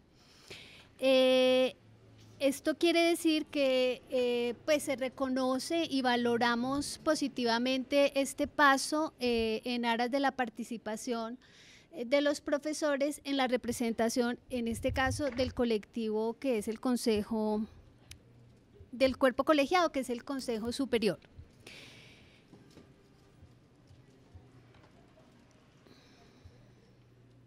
Pasamos a la siguiente, por favor. Bien. La propuesta nuestra de representación profesoral tiene en cuenta tanto el contexto nacional y local como el contexto interno. Eh, en el contexto nacional y local, pues tenemos eh, el intento por construir eh, formas de dar, buscar soluciones a los problemas sociales, económicos y de otra índole que vivimos en el país sin eh, seguir matándonos. En ese sentido, pues eh, reconocemos la importancia de apostarle a, los procesos coyunturales que se viven como el de construir la paz con los grupos insurgentes. Y en el contexto interno, pues tenemos diversas eh, coyunturas que están atravesando la universidad en este momento, en particular, pues la necesidad de hacer una reforma a, la, pues, normatividad, normas estructurales de la UPN y eh, nosotros, digamos, preparamos nuestra participación eh, teniendo en cuenta esto. Eh, algunos de los puntos que les vamos a presentar son los que proponemos eh, para orientar inicialmente nuestra propuesta, pero nosotros queremos construir tanto un colectivo eh, de representación, somos tres profesores y vamos a construir ese colectivo a lo largo de la representación, no solamente para la elección, eh, y en esa medida eh, procurar construir canales de comunicación con todos los profesores para eh, revisar, ampliar o revisar o ampliar los puntos que estamos proponiendo. Proponemos propender por la defensa de la financiación de la educación pública universitaria, agenciando propuestas pedagógicas y jurídicas. Cabe recordar que por ejemplo, es necesario apoyar las gestiones que se hagan desde la universidad para que lo que se ganó con la reforma tributaria para apoyar las universidades públicas, pues realmente se dé. Y también es necesario apostarle a desarrollar propuestas pedagógicas que hagan consciente que la necesidad de buscar eh, y propender y defender la financiación de las universidades públicas es una tarea de todos, incluido el colectivo de profesores, y que los representantes eh, hacemos una parte, pero es una tarea que la tenemos que desarrollar entre todos. También eh, proponemos fortalecer la veeduría en torno a la gestión presupuestal y administrativa de la universidad, así como a la proyección de la planta física, eh, es necesario eh, trabajar por condiciones locativas más dignas tanto para los estudiantes como para los profesores y es un elemento adicional a la necesidad pues, de llevar a cabo una gestión presupuestal y administrativa eh, pues clara y digamos atendiendo las necesidades de la universidad. Eh, también proponemos agenciar condiciones de posibilidad para el diseño de políticas y reformulación colectiva de las estructuras normativas en los ámbitos de la docencia, la investigación, la proyección social, el bienestar universitario y en general de los aspectos que afectan a la comunidad educativa y que constituyen el horizonte de sentido de la UPN. Eh, como decía al inicio, eh, estamos trabajando eh, en la universidad por eh, modificación de las normas acordes con las nuevas eh, normatividades que se, pues, que se emanan desde el Ministerio de Educación. Y en ese sentido pues se hace necesario trabajar por la participación de los profesores y el reconocimiento de sus saberes en estas en estas, en estas reformas. También proponemos generar iniciativas desde la UPN para llevar a cabo encuentros con los representantes a los consejos superiores de las universidades públicas de Bogotá con el propósito de generar políticas para la defensa de la educación pública superior. Aquí cabe anotar que la Universidad Pedagógica ha liderado la, un acuerdo entre las universidades públicas de Bogotá, SUBE Bogotá, eh, que vincula cinco instituciones de educación superior y eh, nos parece muy importante que como representantes profesorales eh, ayudemos a consolidar ese acuerdo de cooperación que se ha establecido y en ese sentido pues procuraremos establecer comunicación para trabajar conjuntamente con los representantes de profesores de estas instituciones en Bogotá. También apoyar las iniciativas que se gestan en la universidad en torno a seguir consolidando el liderazgo de la UPN en el diseño de lineamientos de política pública para mejorar la formación de profesores en el país.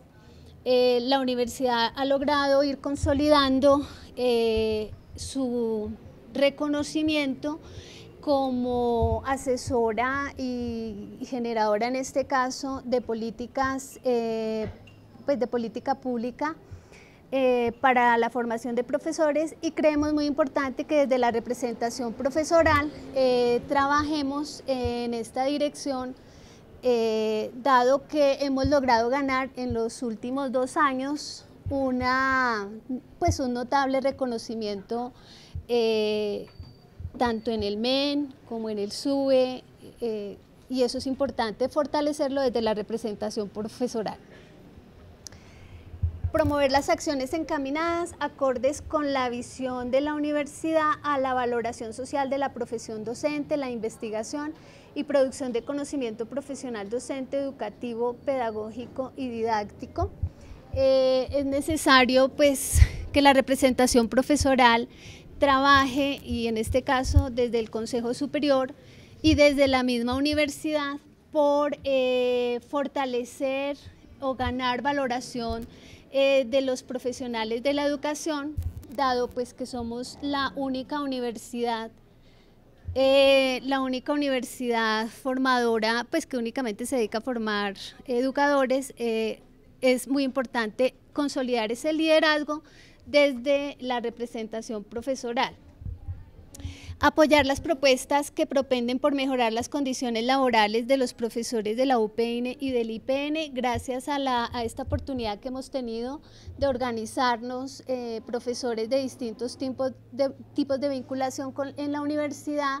Hemos podido conocer que el IPN, eh, los profesores del IPN tienen una serie de dificultades, por ejemplo, de tipo laboral, pero no son solamente de tipo laboral, y esta oportunidad de poder trabajar como un colectivo de tres profesores para llevar a cabo la representación profesoral nos permite atender de manera, a mi modo de ver, mucho más eh, expedita eh, la situación, por ejemplo, que tienen los profesores del IPN.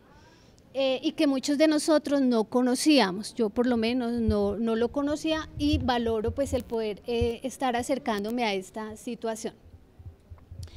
Eh, por último, eh, proponemos, atendiendo el Plan de Desarrollo Institucional 2014-2019, en cada uno de sus ejes estratégicos acompañaremos con especial relevancia las iniciativas del eje de paz con justicia y democracia, dado el contexto de los procesos de paz y de apertura a nuevos diálogos con la insurgencia, promoviendo la participación del profesorado del IPN y de la universidad en dicho eje.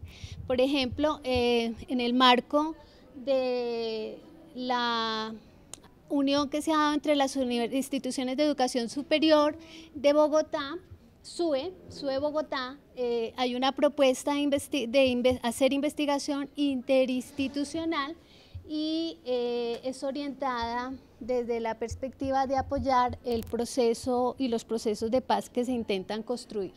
Y nosotros consideramos muy importante desde la representación profesoral eh, participar, promover y construir maneras de apoyar esto. Por último, eh, Por último, eh, vale anotar que la democracia es un proceso del que todos hacemos parte eh, y eso implica, si es un proceso, pues que está en permanente, en permanente actividad, es una situación dinámica.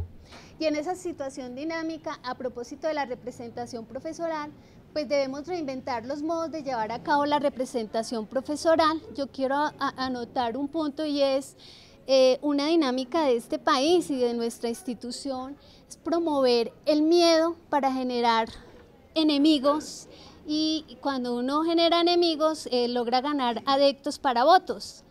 Eh, y a mi modo de ver, uno gana adeptos para votos, pero para construir país y para construir institución, ese no es el camino. El camino me parece a mí que implica construir entre todos y, reconocer la necesidad de que cada uno tiene eh, formas de, de aportar a la construcción de país y a la construcción de institución. Y nosotros queremos trabajar eh, por inventarnos una manera de llevar a cabo la representación profesoral desde esta mirada. Si lo logramos, somos ejemplo para los estudiantes que tenemos aquí en la universidad, es decir, para los futuros educadores, y también somos ejemplo para los jóvenes y los niños que tenemos en el IPN. Es decir, el cómo logremos llevar a cabo esa representación profesoral permitirá mostrar modos de hacer, de construir institución y de construir país. No sé si quieras. Sí, no sé cómo estamos de tiempo. Vale. Bien, eh, muy buenas tardes. me presento, mi nombre es Jorge Aponte, profesor ocasional de tiempo completo del Departamento de Ciencias Sociales.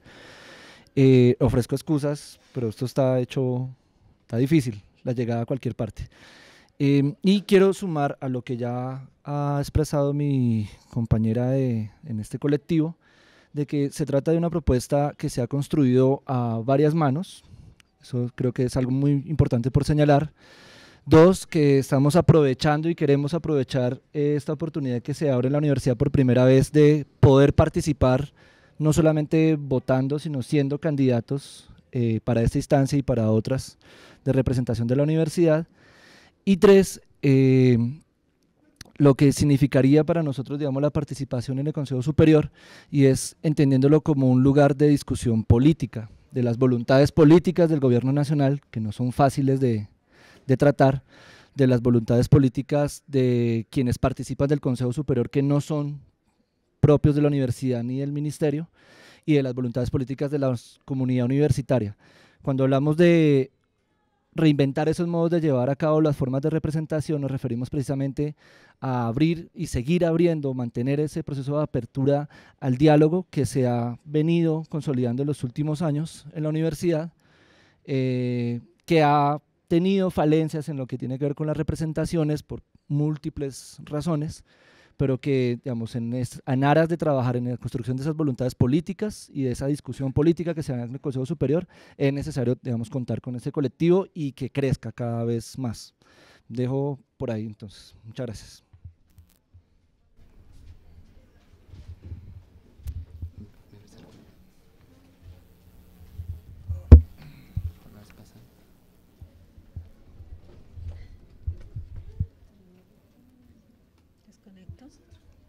Sí.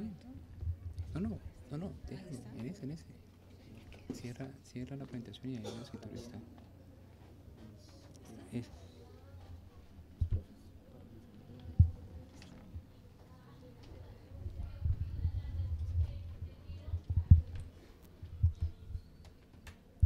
Eh, muy buenas tardes, profesores y profesoras. Eh, agradecemos el tiempo que ustedes se han tomado para asistir a esta presentación. Eh, vamos a iniciar presentándonos quiénes somos y cuál va a ser la metodología de la presentación de la plancha de nosotros. Entonces, inicialmente el profesor Alexander Pareja, profesor de tiempo completo ocasional del Departamento de Tecnología, licenciatura en electrónica, fiscal de ASPU-PN, secretario nacional de Relaciones Laborales de ASPU y negociador nacional por ASPU en la negociación actual en el gobierno. Eh, yo, quien les habla, María Pilar Torres Garzón, profesora hora cátedra de la licenciatura de Educación Especial, miembro principal de la Comisión de Reclamos de ASPU-PN y actualmente presidenta del COPASO 2015-2017. Nosotros vamos a utilizar una metodología para la presentación de nuestra propuesta. Primero hacemos un diagnóstico y luego planteamos lo que son las propuestas eh, con base en el diagnóstico que se hizo para la elaboración de nuestra propuesta. Empezamos con la primera parte, que es la parte presupuestal, y le doy la palabra al profesor Alexander. Bueno, buenas tardes. Eh, este, esta, metodología la escogimos básicamente identificando un diagnóstico en cuatro ejes fundamentales que a juicio de nuestra plancha eh, son coyunturales y críticos en la Universidad Pedagógica Nacional. Eh, el principal y fundamental es, el presupuestal. Y básicamente, a juicio, de nosotros, a juicio nuestro, es la causa que genera la crisis sistémica de la educación superior pública en Colombia el diagnóstico presupuestal es crítico, eh, ya que la UPN eh, cuenta con una desfinanciación sistemática y eso en razón a que el gobierno desde el 93, desde el 92 no suministra el presupuesto adecuado para poder que la universidad pública funcione adecuadamente. A hoy 2017 eh, el porcentaje de presupuesto de la nación es 50 y 50, es decir que la Universidad Pedagógica Nacional se autofinancia, se, autogestiona el 50% del presupuesto para poder funcionar. Eh, según datos en el informe de acreditación con fines de, de, autoevaluación con fines de acreditación institucional, eh, en los últimos cuatro periodos, 2010, 2015, 2014, el gobierno suministraba en promedio el 64,3% del presupuesto y la universidad el 35% aproximadamente. Y desde que inició esta administración se ha ido cada vez más incrementando los ingentes esfuerzos para autofinanciarnos al punto que hoy 2017 estamos en 50-50. Esta información es oficial, eh, fue obtenida del Acuerdo 033, 033, del 5 de diciembre de 2016, que es el Estatuto eh, del Presupuesto 2017, y el Informe de Autoevaluación Institucional con fines de acreditación. El P 2014-2019 explicita alrededor de la situación presupuestal un sucinto diagnóstico eh, en el cual básicamente se indica que la ampliación de cobertura no tuvo la respectiva ampliación presupuestal del gobierno para poder cubrir esa ampliación de cobertura. Esa ampliación de cobertura básicamente se ha soportado en la ampliación de la planta de docentes mal llamados ocasionales y catedráticos, al punto que hoy estamos en el 80% de profesores ocasionales y catedráticos y tan solo el 20% en la planta docente.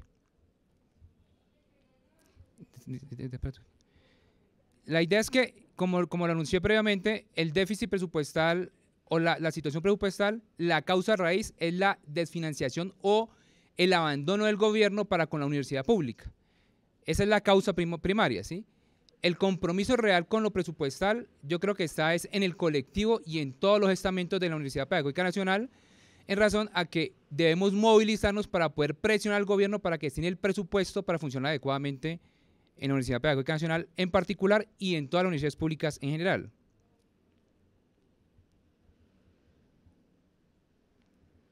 El segundo eje de nuestro diagnóstico es la planta de personal docente de la UPN y del IPN respectivamente.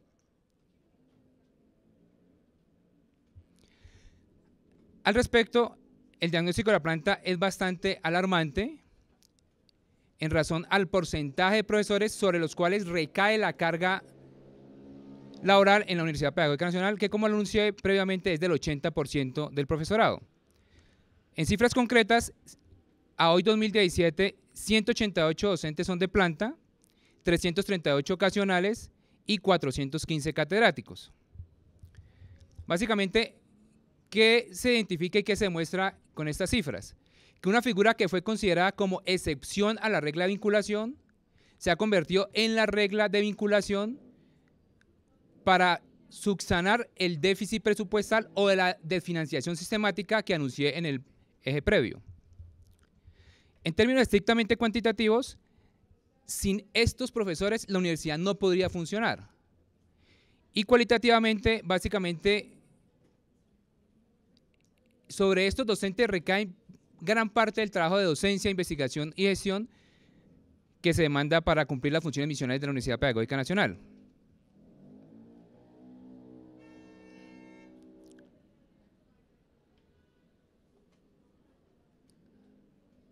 En el PDI sobre este eje también se da unos esbozos de diagnóstico y básicamente se explicita y se confirma lo anunciado por mí en, la, diapositiva previa y básicamente se anuncia textualmente el número creciente de docentes vinculados bajo dichas modalidades, ocasionales y catedráticos, está asociado de manera directa al incremento en la cobertura en desmero de las condiciones en tiempos de vinculación por cada periodo.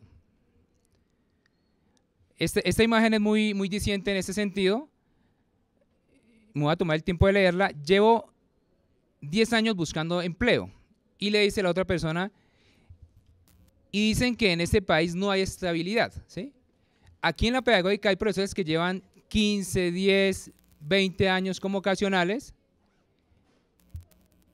y de un momento a otro los cambian de modalidad o los desvinculan. Hay casos recientes que evidencian esta situación que estoy anunciando en este momento.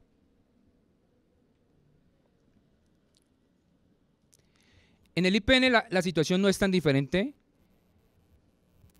Del 2000, en el 2005 se contaba con 102 profesores de planta en el IPN y con tan solo 39 profesores ocasionales. En los últimos 12 años, el incremento ha sido sustancial en ocasionales y gradualmente se ha ido disminuyendo la planta docente de planta, valga la redundancia, en, el IPN. A hoy 2017 se cuenta con 65 profesores de planta que representa el 44,5% y profesores ocasionales 81 que representa el 55,5%.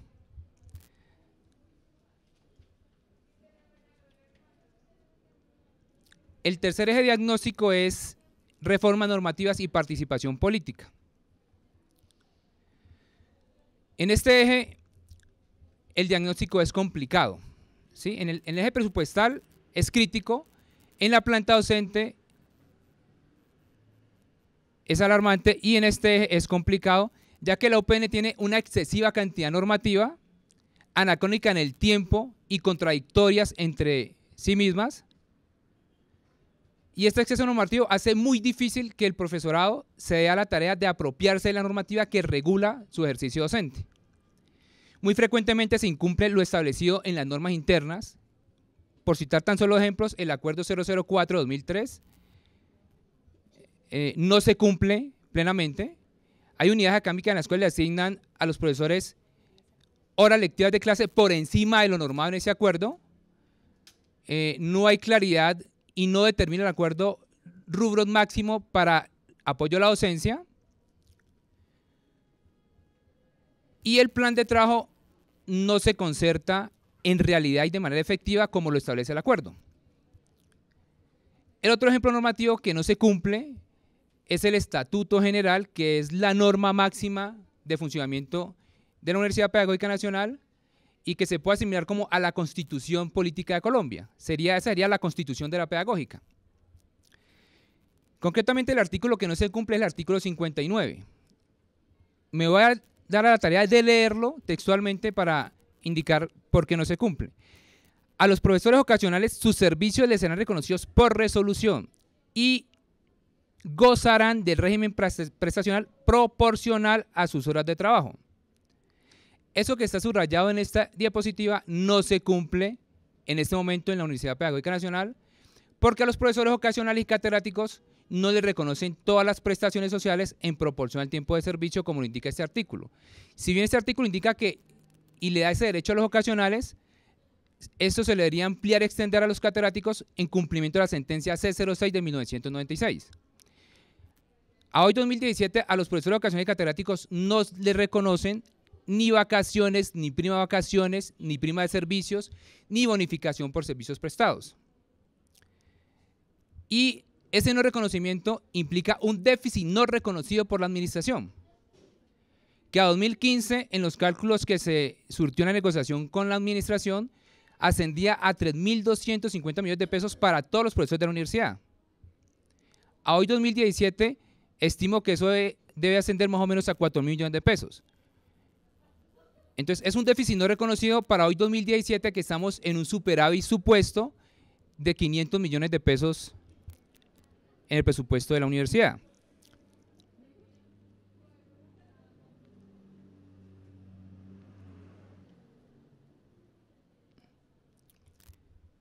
Frente a reformas normativas, el PDI establece, y el PDI básicamente es la hoja de ruta que, que determina el derrotero a seguir por esta administración, y al respecto de reformas normativas, el PDI establece que se han destacado vacíos e incoherencias en la estructura orgánica y normativa de la universidad en relación con su misión y características actuales. Esto es expresado en las conclusiones de la consulta, en los documentos de autoevaluación, en los informes periódicos de gestión y en diagnósticos de orden interno.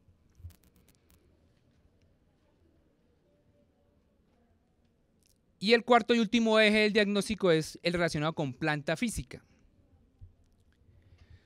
Este diagnóstico es bastante desalentador, a juicio de esta plancha.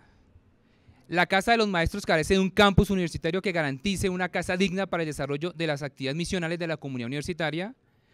Se presentan problemas de hacinamiento en las aulas de clases, edificios con problemas de, de deterioro en su infraestructura, profesores sin un espacio adecuado y digno para su labor.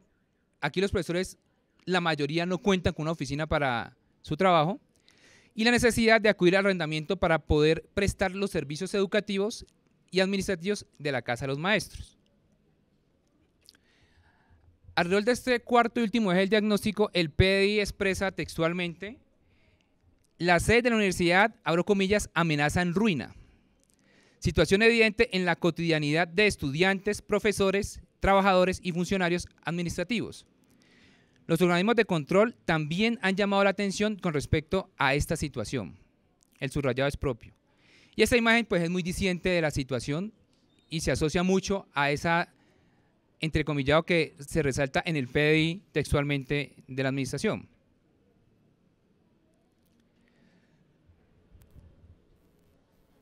Frente a la metodología, el segundo eje de nuestra propuesta metodológica para esta presentación, las propuestas programáticas, de la plancha 2. Y agregamos un eje adicional que es un eje general.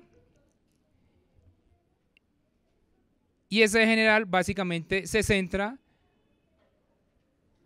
en gestionar y promover en el CSU la ejecución y cumplimiento del derrotero trazado en el PDI 2014-2019 y los planes de acción anuales que proyecten su desarrollo, sobre todo los programas y proyectos que incidan en el estamento que representamos. El rector en sus dos informes anuales que ha surtido hasta el momento, eh, estratégicamente lo ha dividido en los ejes del PDI y en el cumplimiento del PDI. Entonces, esta propuesta busca precisamente eso, es hacer veeduría y seguimiento al cumplimiento de ejecución del PDI de esta administración.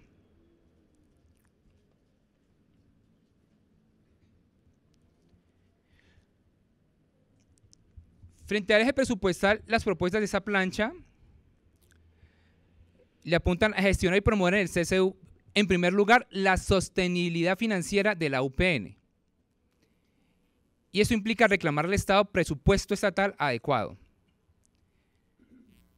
Como anuncié al principio, esto es una labor de todos, de todos los estamentos, no solo el estamento profesoral, sino de toda la comunidad, y eso se logra por vía de movilización. La coyuntura actual del paro de FECODE nos demuestra que las vías de hecho funcionan y se logran resultados efectivos por medio de estas vías de hecho. El segundo, la segunda propuesta es que el presupuesto adicional de la reforma tributaria se destine para formalización laboral docente, concretamente para los, para los profesores mal llamados ocasionales y catedráticos de la UPN. El tercer, la tercera propuesta de acción de esta plancha es requerir al Gobierno Nacional el reconocimiento y pago de la deuda por la ampliación de cobertura. Si bien recuerdan el diagnóstico, la Administración identificó que se ha ampliado cobertura significativamente sin que el gobierno destine el presupuesto para soportar esa ampliación en cobertura. Y anunciando que esa carga de ese déficit presupuestal ha recaído en la forma de vinculación irregular de los profesores ocasionales y catedráticos. Requería al Gobierno Nacional el reconocimiento y pago retroactivo del ajuste del valor del punto.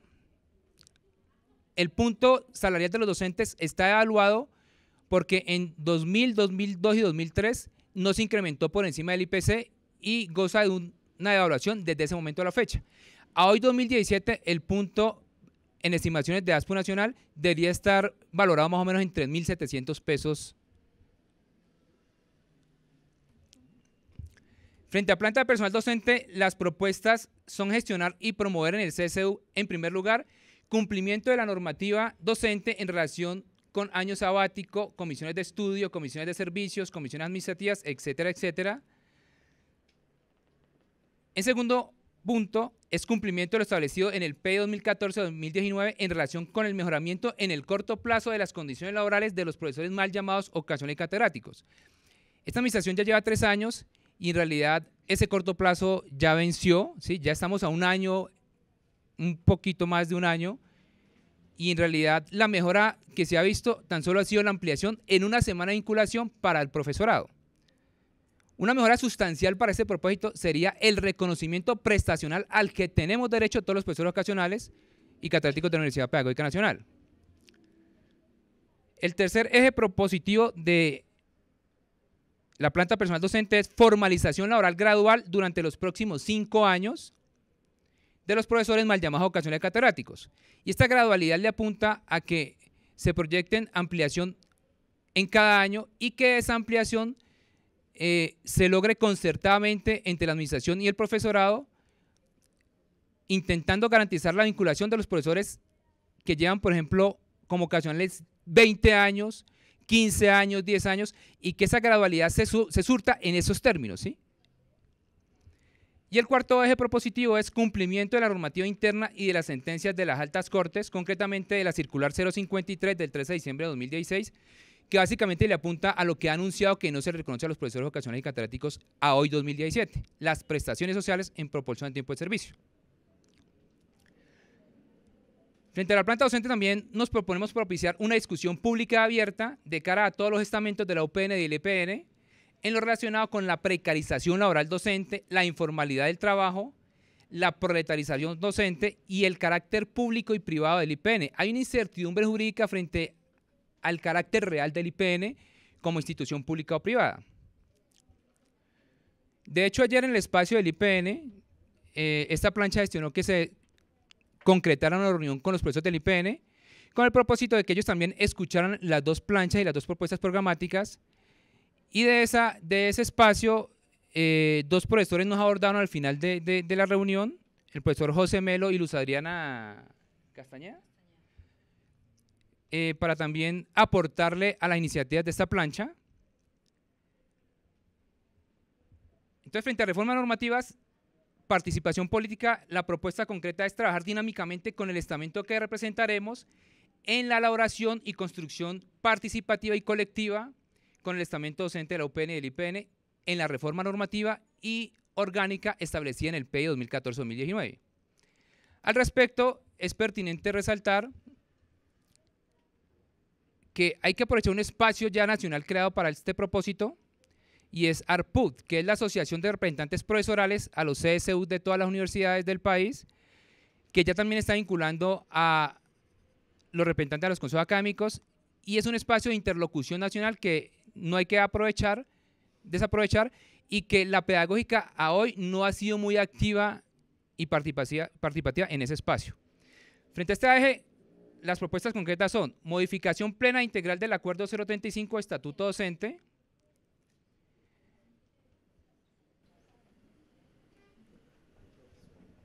Bueno. Bueno, eh, agradecemos la participación de, los dos, de las dos fórmulas de candidatos y continuando con el orden del día, damos espacio para la sesión de preguntas. Eh, le recordamos a los candidatos que cuentan con dos minutos para dar respuesta a, las preguntas dirigidas. Eh, colocamos de forma que la, la persona que desea hacer pregunta dirija a la lista número uno eh, integrada por la profesora Isabel y el profesor Jorge, o a la lista número dos, eh, integrada por el profesor Alexander y la profesora María del Pilar. Entonces, damos inicio a la sesión de preguntas.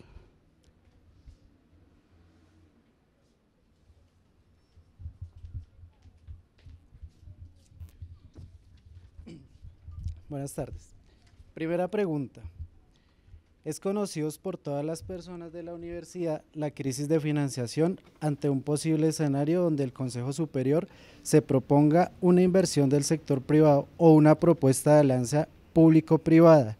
¿Su posición cuál sería? Va dirigida a la lista número uno y a la lista número dos. Estamos para que la lista número uno responda.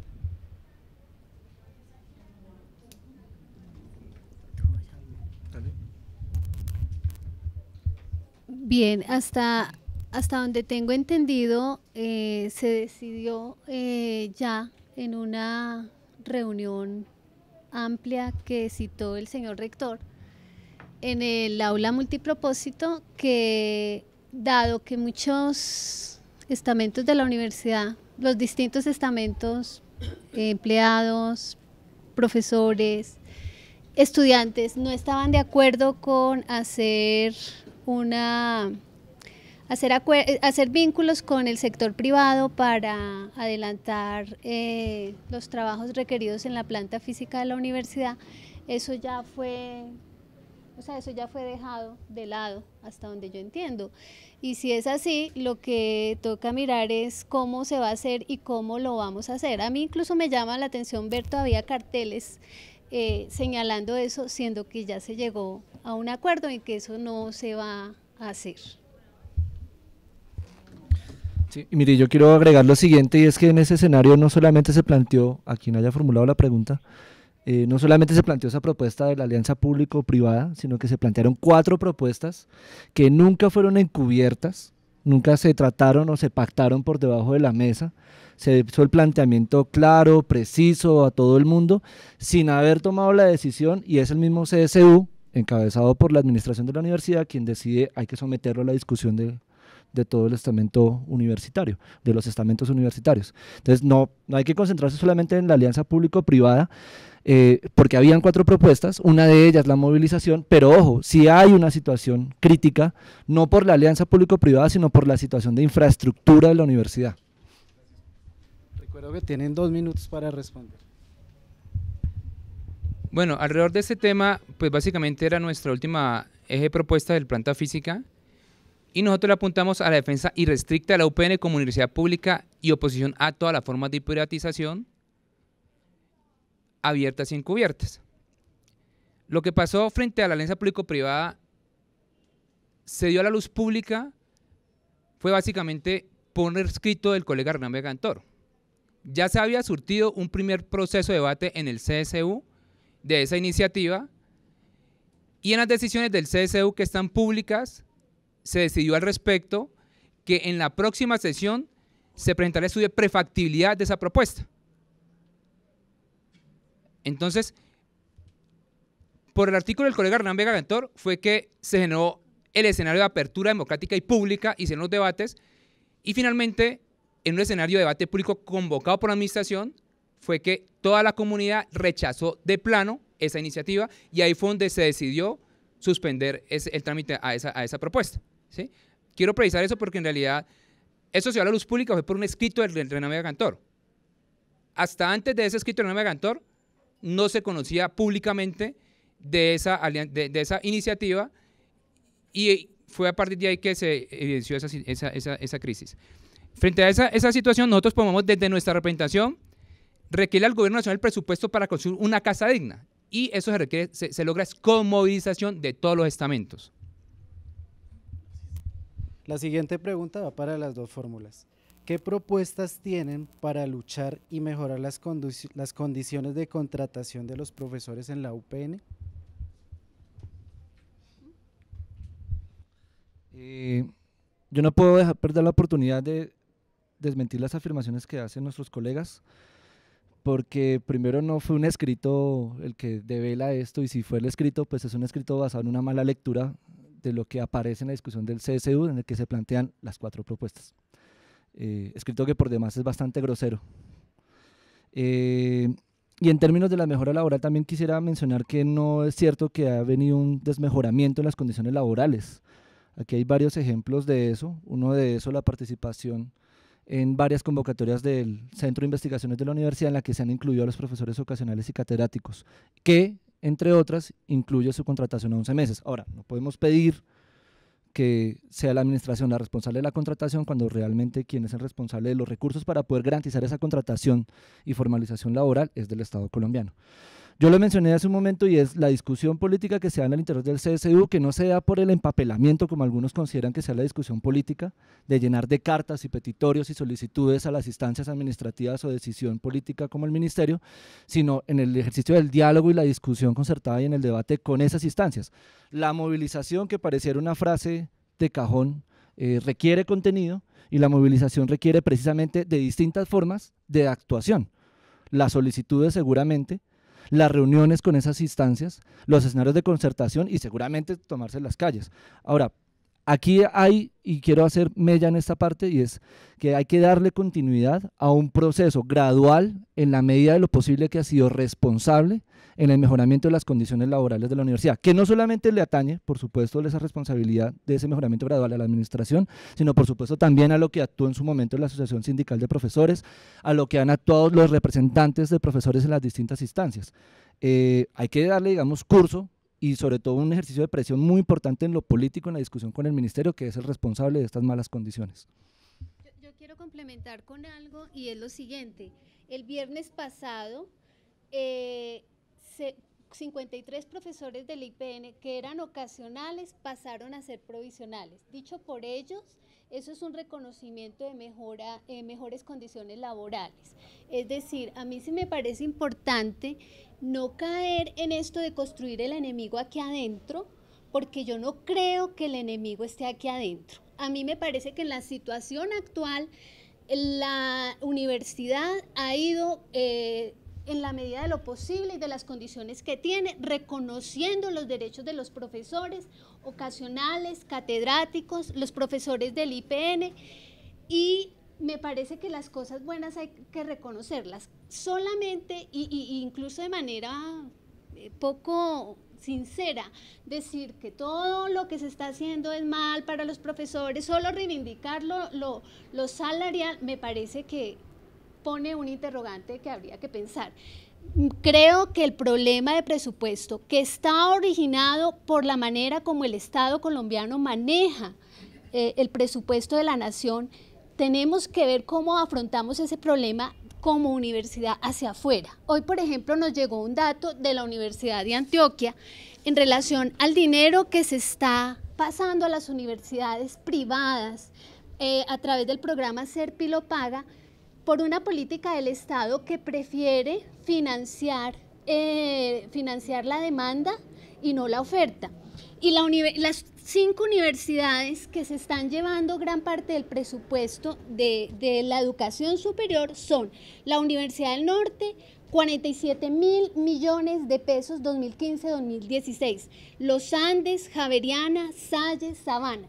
Y si ustedes observan, las universidades públicas que han recibido dinero por, eh, por este programa están en, pues muy lejos de, los primeros lugares. Entonces lo que tenemos aquí es, a mi modo de ver, eh, ser más, digamos, pensar de una manera distinta y no construir un enemigo aquí adentro, siendo que el problema agudo está afuera en relación al presupuesto que se requiere para poder mejorar condiciones salariales de todos.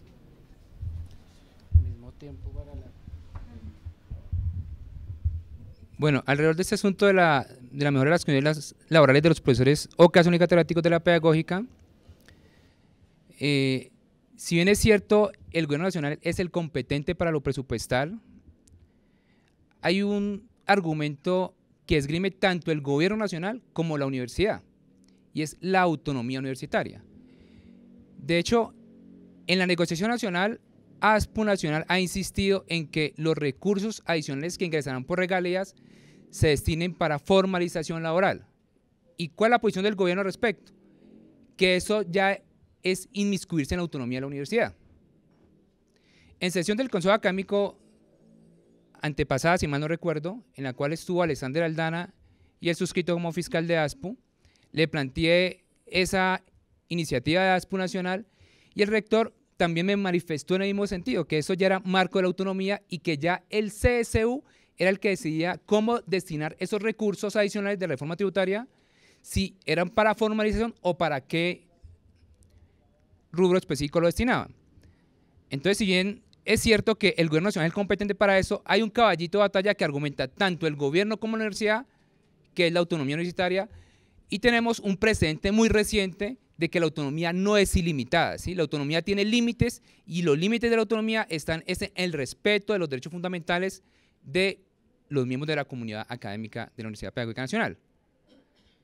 Entonces, la formalización laboral requiere de voluntad política real y efectiva. Y eso implica gestionar el presupuesto adecuado para ese propósito. Gracias. Siguiente pregunta va dirigida también a las dos listas. ¿Cómo se defendería desde su representación los derechos de los docentes y trabajadores, ya que el docente elegido representaría estas dos instancias? Yo aclararía, y eso mm, pues me alegra que hagan la, pregunta. Eh, nosotros estamos apostándole a ser representante de profesores no representante de los trabajadores, no representante estudiantil. Eh, y en ese sentido nosotros actuaremos como representantes de los profesores. Y hay que sumarle algo y es digamos, la inexistencia precisamente y la disparidad que existe en estos órganos de representación de otros estamentos uno que ya mencionaron, que es el de los trabajadores, que digamos, en el marco de la reforma orgánica, la reforma normativa de la universidad, es necesario poner en discusión y plantear la necesidad de otras instancias de representación de esos estamentos que les permita realmente eh, ser representados en esas instancias de decisión.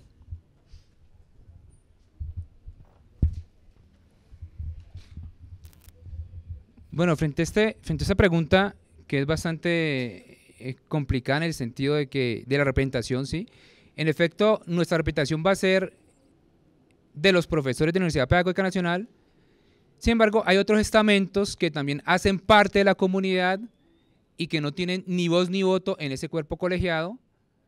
Entonces, en cierta manera, y con el propósito de una construcción colectiva de universidad, eh, nuestra plancha sí estará dispuesta a escuchar las propuestas, dudas, inquietudes que los otros estamentos tengan frente a sus necesidades. Y aquí es estratégico también trabajar articuladamente con las otras representaciones, con la representación estudiantil y con la representación de egresados. Porque si bien es cierto que representamos a un estamento en particular, eh, la idea es privilegiar el bien común de la Universidad Pedagógica Nacional y el bienestar de toda la comunidad universitaria. A propósito de bienestar, el bienestar está concentrado de manera asistencial solo en el estamento estudiantil. Y los otros estamentos, en realidad, no se concibe una política real de bienestar universitario que cubra a todos los estamentos de la pedagógica. Y en este punto, la ley 30 establece que se debe crear un fondo de bienestar nacional que a la fecha no se ha creado. La preocupación de esta plancha concretamente es que el gobierno aprueba leyes, decretos, resoluciones y no prevé ni provee el presupuesto requerido para el cumplimiento de las mismas. Y cuando se proyecta presupuesto para algo, tampoco lo cumple.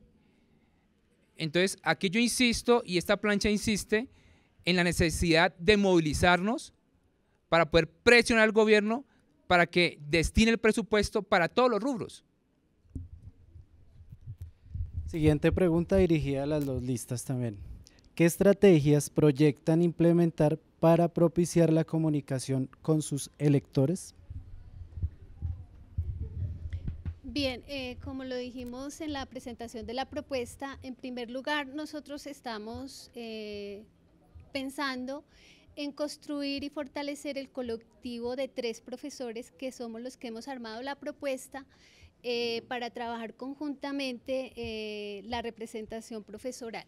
Margarita Misas, que es la profesora del IPN, eh, ella no está inscrita porque la norma dice que solo se inscriben dos personas. Eh, en este caso, pues está Jorge y estoy yo, pero somos eh, tres profesores. Entonces, en primer lugar, vamos a consolidar la comunicación permanente de este grupo de profesores.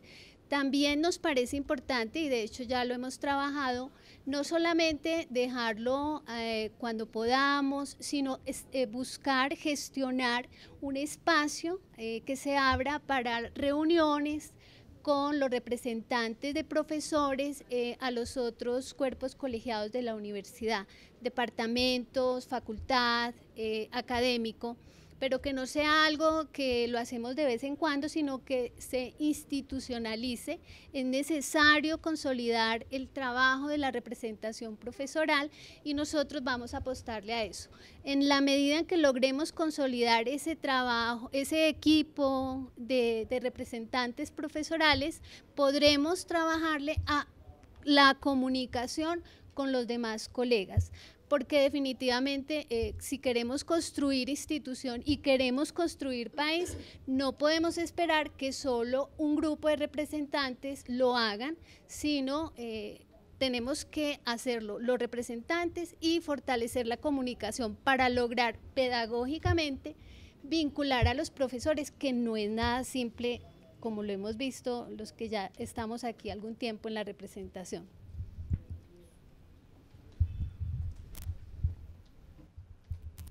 Bueno, las estrategias que nosotros hemos venido manejando para dar a conocer nuestra propuesta, eh, inicialmente lo hicimos a través del correo electrónico, difundimos nuestra propuesta tanto a los docentes eh, del IPN como a algunos docentes de la Universidad Pedagógica, eh, también a través pues, de, de la página. Y también hemos tenido la posibilidad, y digo la oportunidad, de que muchos profesores se han acercado a preguntarnos sobre nuestras propuestas. Entonces hemos tenido la oportunidad directamente de hablar, eh, tener un espacio y conversar con, los docentes eh, sobre las estrategias a trabajar en conjunto de esta plancha. Alrededor de este tema también sería estratégico recuperar un espacio que está creado en la página de la pedagógica, eh, hay un link para que los representantes a profesores, estudiantes y egresados eh, publiquen sus informes, interlocuten con la comunidad. Entonces sería, en la medida de lo posible, si llegamos a quedar elegidos, pues recuperar ese espacio y también eventualmente eh, convocar espacios para informe de reunión de cuentas de nuestra gestión en el CSU. Siguiente pregunta dirigida a las dos listas. ¿Cómo actuar cuando un docente cumple con su labor y es perseguido por esto? ¿Cómo se defendería en lo referente al acoso laboral?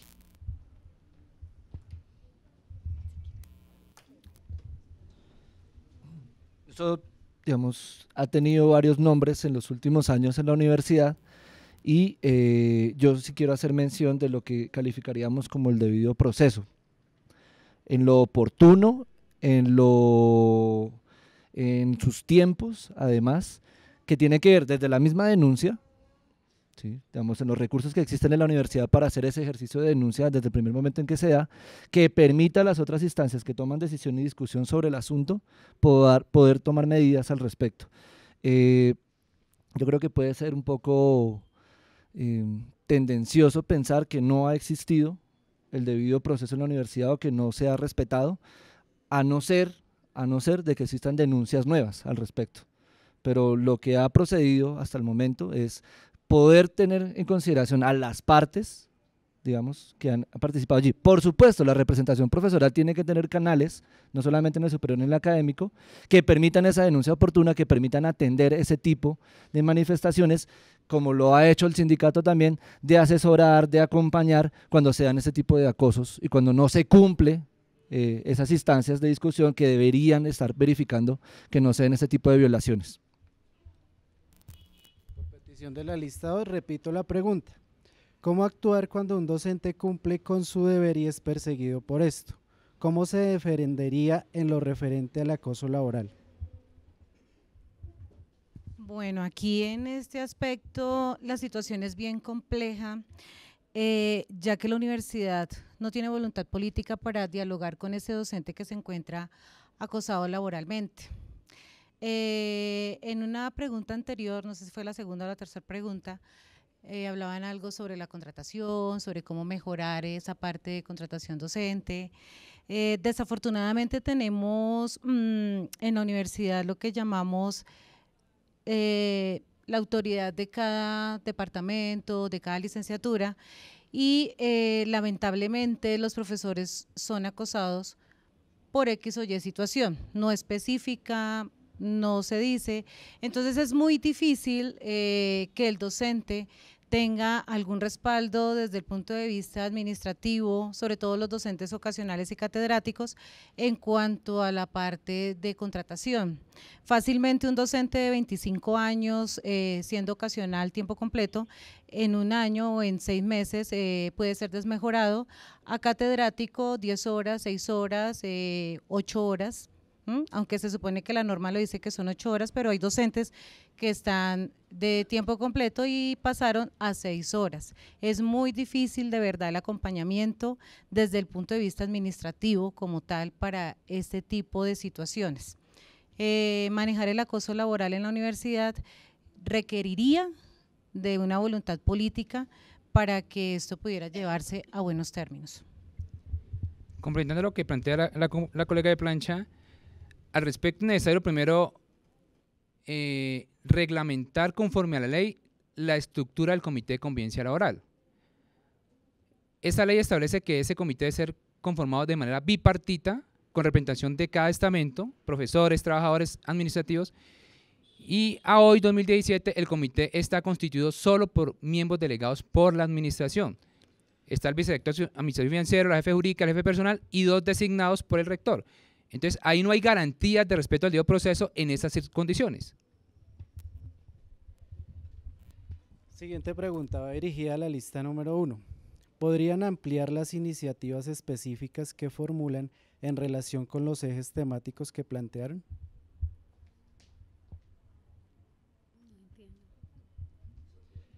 ¿Podrían ¿Podrían ampliar las iniciativas específicas que formulan en relación con los ejes temáticos que plantearon?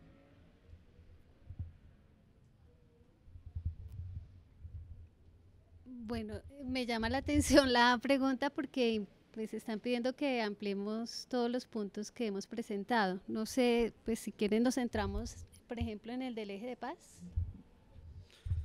Mire, yo quiero hacer mención de dos en particular antes del del eje de paz. Uno que tiene que ver con la crisis financiera de la universidad. La crisis de la universidad tiene que ver con tres aspectos que se ha mencionado, pero que hay que mirar en su detalle. Uno, la deuda causada. Dos, la falta de recursos para la infraestructura en las 32 universidades públicas del país. Y tres, eh, lo que ha sido la falta del aumento de la base presupuestal de las universidades. Eso es una discusión ni siquiera solamente con el Ministerio de Educación para ampliar, sino con el Ministerio de Hacienda. Es una discusión con los entes territoriales que, como en el caso de la Universidad Pedagógica, no han asumido la responsabilidad que tienen, legítimamente decimos nosotros, de también financiar esa universidad que atiende población o que recibe población de la ciudad y del departamento y que no percibe ningún recurso de estas entes territoriales, eh, pero que además sumándome a esa otra vez a la expresión de movilización, requiere distintos canales de discusión que logren concertar esas voluntades políticas que no se han logrado definir desde hace mucho tiempo. Eh, en lo que tiene que ver con el eje de paz, no solamente con el eje de paz, sino con todos los ejes que han sido desarrollados, que han sido, perdón, formulados en el PDI de la universidad. Eh, uno, Se trata de un PDI que por primera vez no fue construido con el pago a unos asesores externos, sino que fue construido con la participación de buena parte de toda la comunidad, que no le costó un peso de asesores a la universidad. Dos, que es un mandato no de la administración actual, sino que es un mandato de la comunidad universitaria, desde los trabajadores, profesores, estudiantes, etcétera, etcétera, que han dicho queremos que en estos cuatro años se debe regir al cumplimiento de esto. ¿Se ha logrado o no se ha logrado? Ha sido por las dificultades presupuestales que ya mencioné desde un principio, pero además por la falta también de voluntad interna de quienes no han querido remangarse y ponerse a trabajar y se han dedicado a escribir epítetos insultando a la gente. La siguiente pregunta va dirigida a la lista número 2. ¿Cómo se piensa construir una agenda para que mejoren los problemas estructurales de la UPN si ni siquiera se reconocen los logros generados en esta administración ni se percibe una disposición para trabajar mancomunadamente. ¿Cuál es la diferencia entre la representación profesoral y la agenda de ASPO?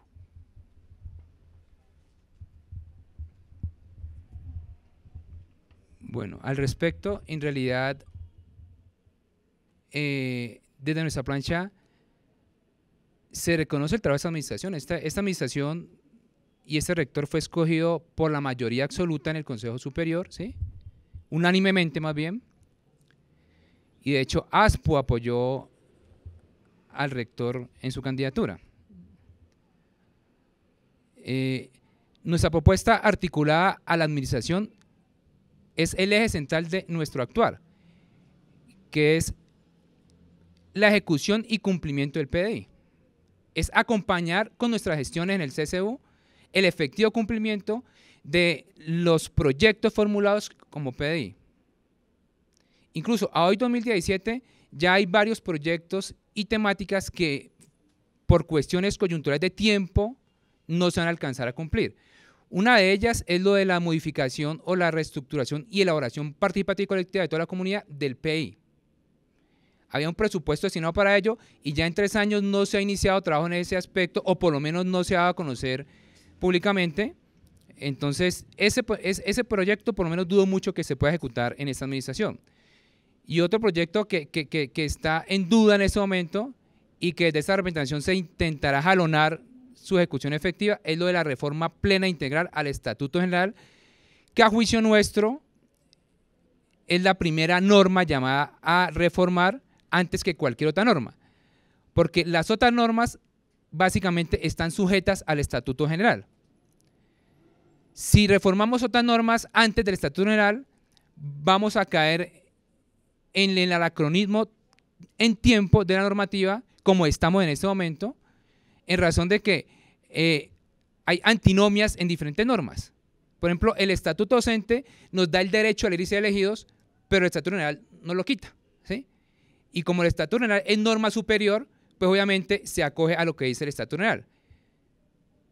Hoy este espacio está abierto gracias a las gestiones de ASPU-PN para poder que se modificara parcialmente el Estatuto General, pero solo se modificó y se permitió la participación al CSU.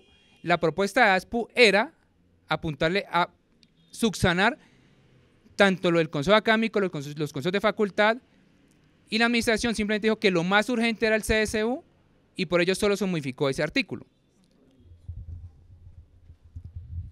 La siguiente pregunta va dirigida a la lista número uno. Dado que ustedes proponen como ejes fundamentales la formación para la paz, ¿cuál es el compromiso del gobierno nacional con dicha formación en la universidad? Por ejemplo, se, se habla de que en la UPN forma combatientes, pero ustedes saben si el gobierno le ha destinado o le destinará presupuesto para tal fin.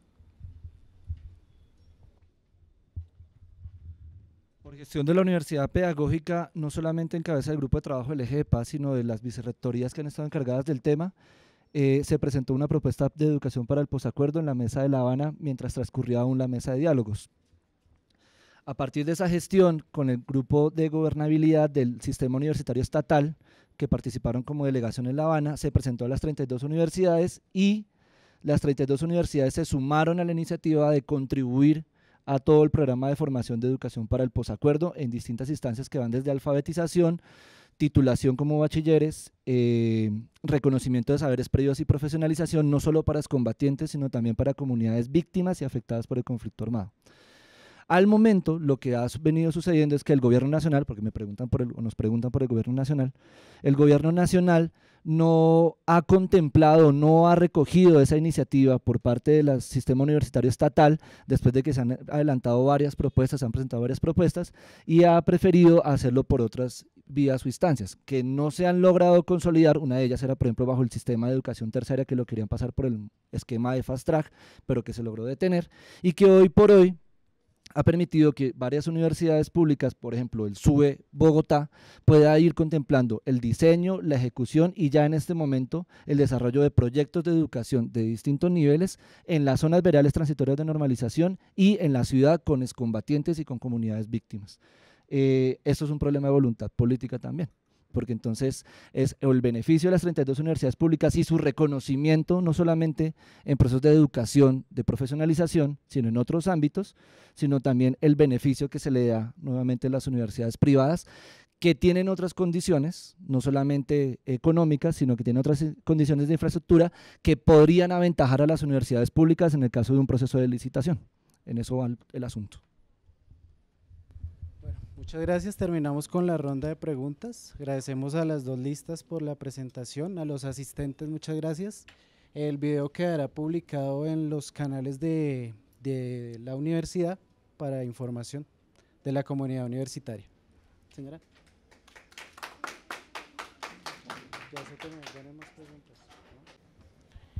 Eh, buenas tardes, profesoras y profesores. Eh, Damos la bienvenida a, este, a esta jornada de presentación de los candidatos y candidatas a la representación profesoral al Consejo Superior, periodo 2017-2019. Eh, algunos elementos importantes para decir en el desarrollo del proceso. Lo primero es que ya se surtieron eh, el envío de claves a todos, los, a todos los profesores de la universidad pedagógica. Las reclamaciones fueron eh, la semana pasada, el día 23 de mayo. En ese proceso se surtieron 15 reclamaciones y las 15 fueron resueltas en su, totalidad. Eh, lo segundo, eh, para las planchas, el día 31 de mayo, o sea, hoy, como está establecido en la resolución, está la designación de los testigos electorales que pueden acompañar en el proceso y en el desarrollo del proceso, tanto del inicio de la votación como al cierre del proceso de votación. Y eh, es importante decirlo que eh, las elecciones y el proceso se va a surtir el viernes 2 de junio. Eh, este ejercicio, digamos que la metodología propuesta eh, está establecida para que las dos planchas hagan su presentación. Eh, escogimos, digamos que el criterio para el inicio de la presentación es en el orden de inscripción. Así fue eh, la numeración de las planchas. la presentación constará primero, inicia la lista 1, que es la profesora Isabel Garzón Barragán y el profesor Jorge Enrique Aporte Otálvaro. Y a continuación eh, seguido de la lista número uno estará el profesor Alexander Pareja Giraldo y la profesora María del Pilar Torres Garzón. Eh, tenemos una presentación de 20 minutos eh, por cada plancha. Desde la Secretaría General se estará contabilizando el tiempo. A los cinco minutos que falten de finalizar se, se, les hará entrega de un papel, se les mostrará un papel indicándoles que les falta cinco minutos. Faltando dos minutos se les presentará un papel que queda en dos minutos y al final, independientemente en el nivel en que quede la presentación de la plancha, se finaliza el tiempo y se cierra el micrófono para la plancha. Después de las dos presentaciones que hagan las dos planchas, abriremos un espacio de 20 minutos si hay preguntas eh, por parte de los asistentes a la jornada. Se está haciendo un registro audiovisual con la finalidad no solo que quede como memoria eh, del espacio de socialización de las propuestas de los candidatos y las candidatas, sino como una manera también de comunicar al conjunto de la comunidad universitaria de las propuestas y la discusión que se va a presentar el día de hoy. Entonces, con esto damos inicio a la presentación de las propuestas de los candidatos al Consejo Superior y entonces damos el uso de la palabra eh, a la profesora Isabel Garzón Barragán. Profesora, bienvenida. Bien, eh, buenas tardes para todos. Eh, en primer lugar, pues quiero valorar este espacio para poder socializar una propuesta que hemos desarrollado eh, tres profesores. Eh, estos tres profesores somos eh, Margarita Misas, ella es representante del Consejo Directivo del IPN, acaba de informarme que le tocó devolverse, venía del IPN para estar acá, pero las marchas han generado muchos bloqueos en la ciudad y le fue imposible llegar. Eh, el profesor Jorge, Jorge Enrique Aponte, él es profesor ocasional tiempo completo del Departamento de Sociales, Facultad de Humanidades. Eh, llegará en un momento, está, estaba en clase. Y yo soy Isabel Garzón Barragán, soy profesora de tiempo completo del Departamento de Física eh, de la Facultad de Ciencia y Tecnología. Esta propuesta la hemos eh, como decía, ay, no, no pasa. La, hemos eh, pues desarrollado entre tres profesores. Vale anotar que eh, por vez primera, a raíz de una modificación que se hizo al artículo 12 del Estatuto General, eh, pueden participar en la elección de representantes de profesores, eh, todos los profesores de la universidad, profesores de planta, profesores ocasionales y profesores catedráticos. Eh, esto quiere decir que pues se reconoce y valoramos positivamente este paso en aras de la participación de los profesores en la representación, en este caso del colectivo que es el Consejo del cuerpo colegiado, que es el Consejo Superior.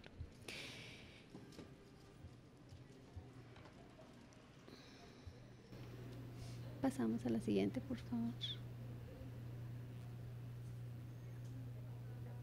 Bien, sería la siguiente. La propuesta nuestra de representación profesoral tiene en cuenta tanto el contexto nacional y local como el contexto interno.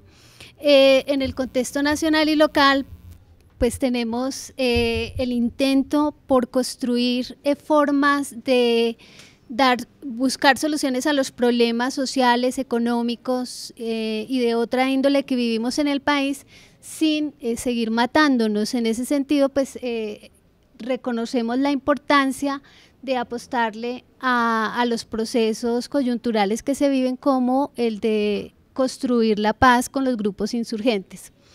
Y en el contexto interno, pues tenemos diversas eh, coyunturas que están atravesando la universidad en este momento, en particular, pues la necesidad de hacer una reforma a, la, pues, normatividad, normas estructurales de la UPN y eh, nosotros, digamos, preparamos nuestra participación eh, teniendo en cuenta esto. Eh, algunos de los puntos que les vamos a presentar son los que proponemos eh, para orientar inicialmente nuestra propuesta, pero nosotros queremos construir tanto un colectivo eh, de representación, somos tres profesores y vamos a construir ese colectivo a lo largo de la representación, no solamente para la elección, eh, y en esa medida eh, procurar construir canales de comunicación con todos los profesores para eh, revisar, ampliar o revisar o ampliar los puntos que estamos proponiendo. Proponemos propender por la defensa de la financiación de la educación pública universitaria, agenciando propuestas pedagógicas y jurídicas. Cabe recordar que por ejemplo, es necesario apoyar las gestiones que se hagan desde la universidad para que lo que se ganó con la reforma tributaria, para apoyar las universidades públicas, pues realmente se dé. Y también es necesario apostarle a desarrollar propuestas pedagógicas que hagan consciente que la necesidad de buscar eh, y propender y defender la financiación de las universidades públicas es una tarea de todos, incluido el colectivo de profesores, y que los representantes eh, hacemos una parte, pero es una tarea que la tenemos que desarrollar entre todos. También eh, proponemos fortalecer la veeduría en torno a la gestión presupuestal y administrativa de la universidad, así como a la proyección de la planta física. Eh, es necesario eh, trabajar por condiciones locativas más dignas tanto para los estudiantes como para los profesores y es un elemento adicional a la necesidad pues, de llevar a cabo una gestión presupuestal y administrativa pues clara eh, y, digamos atendiendo las necesidades de la universidad. Eh, también proponemos agenciar condiciones de posibilidad para el diseño de políticas y reformulación colectiva de las estructuras normativas en los ámbitos de la docencia, la investigación, la proyección social, el bienestar universitario y en general de los aspectos que afectan a la comunidad educativa y que constituyen el horizonte de sentido de la UPN. Eh, como decía al inicio, eh, estamos eh, trabajando en la universidad por modificación de las normas acordes con las nuevas normatividades que se, pues, que se emanan desde el Ministerio de Educación. Y en ese sentido pues se hace necesario trabajar por la participación de los profesores y el reconocimiento de sus saberes en estas, en estas, en estas reformas. También proponemos generar iniciativas desde la UPN para llevar a cabo encuentros con los representantes a los consejos superiores de las universidades públicas de Bogotá con el propósito de generar políticas para la defensa de la educación pública superior. Aquí cabe anotar que la Universidad Pedagógica ha liderado la un acuerdo entre las universidades públicas de Bogotá, SUBE Bogotá, eh, que vincula cinco instituciones de educación superior y eh, nos parece muy importante que como representantes profesorales eh, ayudemos a consolidar ese acuerdo de cooperación que se ha establecido y en ese sentido pues procuraremos establecer comunicación para trabajar conjuntamente con los representantes de profesores de estas instituciones en Bogotá. También apoyar las iniciativas que se gestan en la universidad en torno a seguir consolidando el liderazgo de la UPN en el diseño de lineamientos de política pública para mejorar la formación de profesores en el país. Eh, la universidad ha logrado ir consolidando eh, su reconocimiento como asesora y generadora en este caso de políticas, eh, pues de política pública eh, para la formación de profesores y creemos muy importante que desde la representación profesoral eh, trabajemos en esta dirección dado que hemos logrado ganar en los últimos dos años una, pues un notable reconocimiento tanto en el MEN como en el SUBE, eh, y eso es importante fortalecerlo desde la representación profesoral. Promover las acciones encaminadas acordes con la visión de la universidad a la valoración social de la profesión docente, la investigación y producción de conocimiento profesional docente, educativo, pedagógico y didáctico. Eh, es necesario pues, que la representación profesoral trabaje, y en este caso desde el Consejo Superior y desde la misma universidad, por eh, fortalecer o ganar valoración eh, de los profesionales de la educación, dado pues que somos la única universidad eh, la única universidad formadora, pues que únicamente se dedica a formar educadores, es muy importante consolidar ese liderazgo desde la representación profesoral.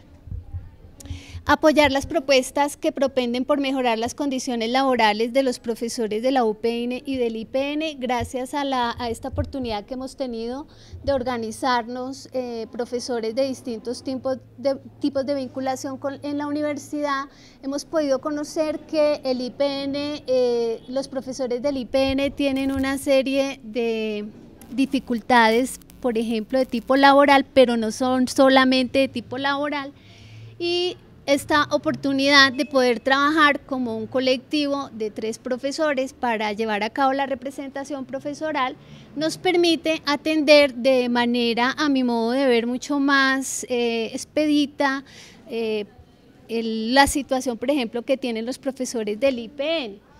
Eh, y que muchos de nosotros no conocíamos, yo por lo menos no, no lo conocía y valoro pues el poder estar acercándome a esta situación.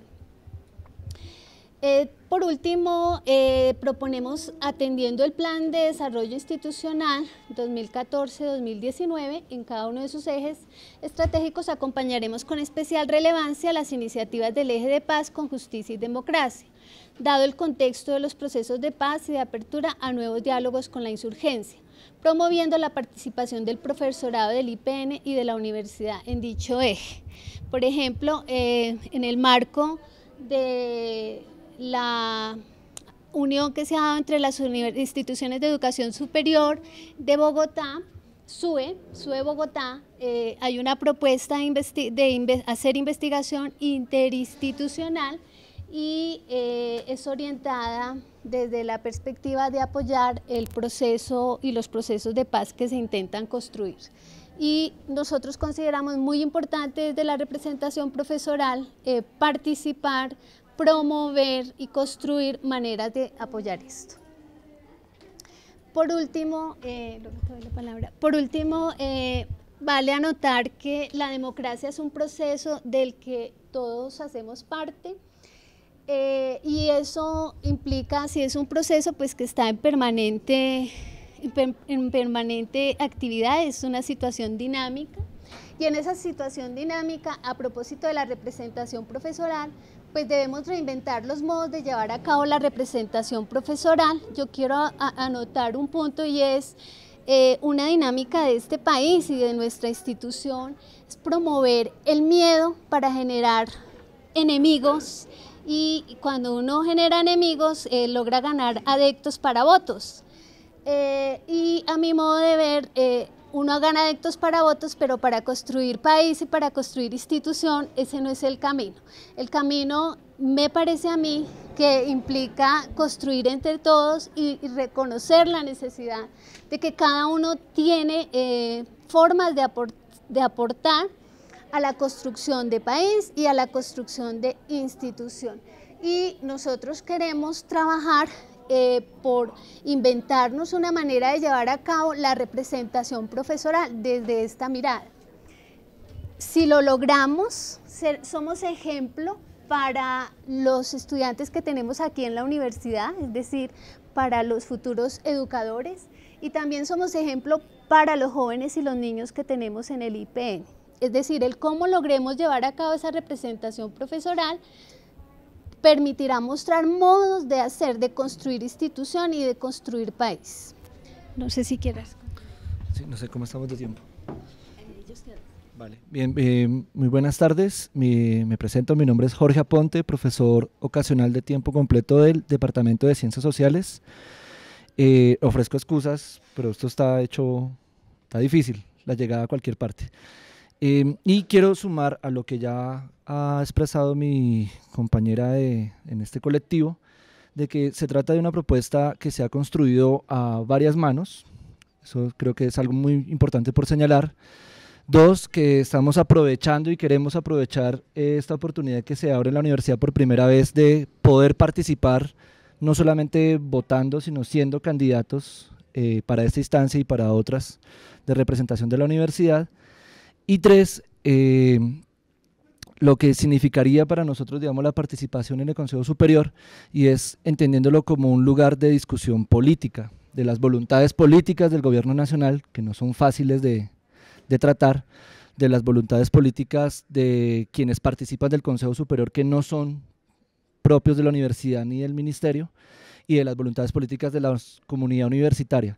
Cuando hablamos de reinventar esos modos de llevar a cabo las formas de representación, nos referimos precisamente a abrir y seguir abriendo, mantener ese proceso de apertura al diálogo que se ha venido consolidando en los últimos años en la universidad, eh, que ha tenido falencias en lo que tiene que ver con las representaciones por múltiples razones, pero que, digamos, en, en, aras de trabajar en la construcción de esas voluntades políticas y de esa discusión política que se da en el Consejo Superior, es necesario, digamos, contar con ese colectivo y que crezca cada vez más.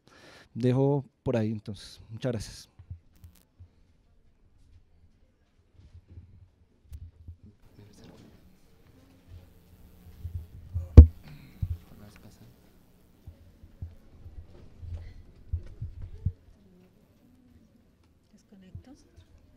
Sí. No, no, no, no, en ese, en ese. Cierra, cierra la presentación y ahí el escritorio está. Es.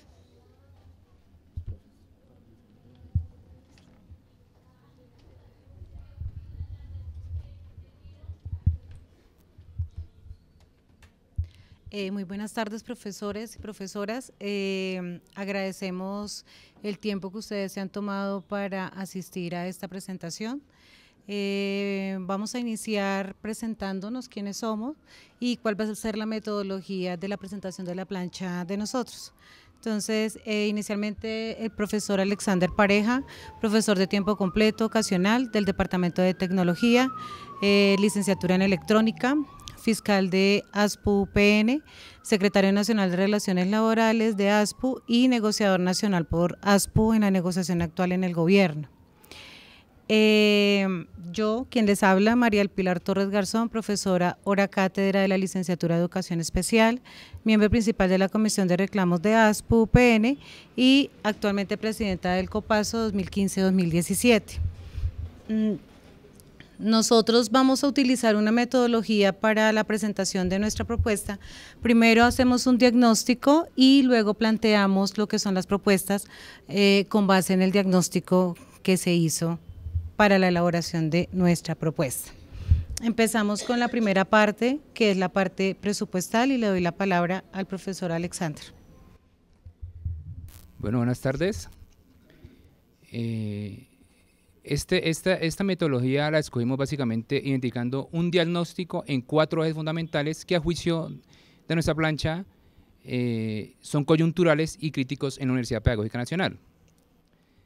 Eh, el principal y fundamental es, el presupuestal. Y básicamente, a juicio, de a juicio nuestro, es la causa que genera la crisis sistémica de la educación superior pública en Colombia. El diagnóstico presupuestal es crítico, eh, ya que la UPN eh, cuenta con una desfinanciación sistemática, y eso en razón a que el gobierno desde el 93, desde el 92, no suministra el presupuesto adecuado para poder que la universidad pública funcione adecuadamente. A hoy 2017, eh, el porcentaje de presupuesto de la nación es 50 y 50, es decir, que la Universidad Pedagógica Nacional se autofinancia, se, autogestiona el 50% del presupuesto para poder funcionar.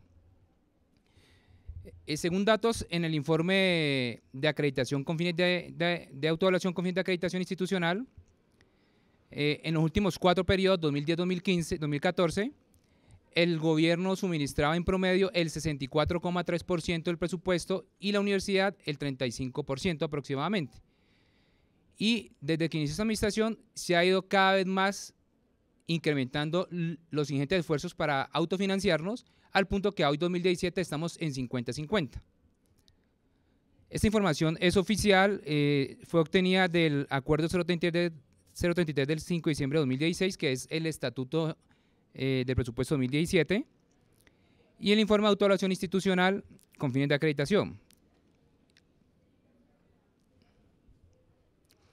El P 2014-2019 explicita alrededor de la situación presupuestal un sucinto diagnóstico eh, en el cual básicamente se indica que la ampliación de cobertura no tuvo la respectiva ampliación presupuestal del gobierno para poder cubrir esa ampliación de cobertura.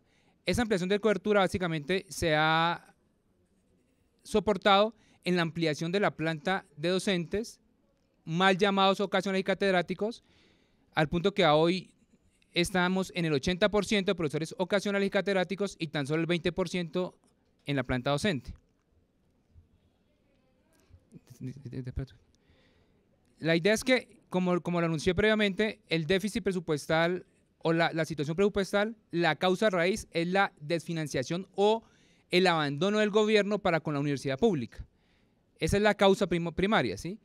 El compromiso real con lo presupuestal, yo creo que está es en el colectivo y en todos los estamentos de la Universidad Pedagógica Nacional, en razón a que debemos movilizarnos para poder presionar al gobierno para que destine el presupuesto para funcionar adecuadamente en la Universidad Pedagógica Nacional en particular y en todas las universidades públicas en general.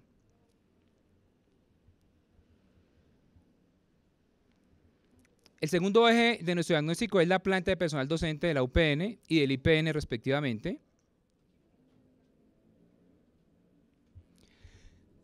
Al respecto, el diagnóstico de la planta es bastante alarmante en razón al porcentaje de profesores sobre los cuales recae la carga laboral en la Universidad Pedagógica Nacional, que como anuncié previamente es del 80% del profesorado. En cifras concretas, a hoy 2017, 188 docentes son de planta, 338 ocasionales y 415 catedráticos. Básicamente, ¿qué se identifica y qué se demuestra con estas cifras? Que una figura que fue considerada como excepción a la regla de vinculación se ha convertido en la regla de vinculación para subsanar el déficit presupuestal o de la desfinanciación sistemática que anuncié en el eje previo. En términos estrictamente cuantitativos, sin estos profesores la universidad no podría funcionar. Y cualitativamente, básicamente, sobre estos docentes recae gran parte del trabajo de docencia, investigación y gestión que se demanda para cumplir las funciones misionales de la Universidad Pedagógica Nacional.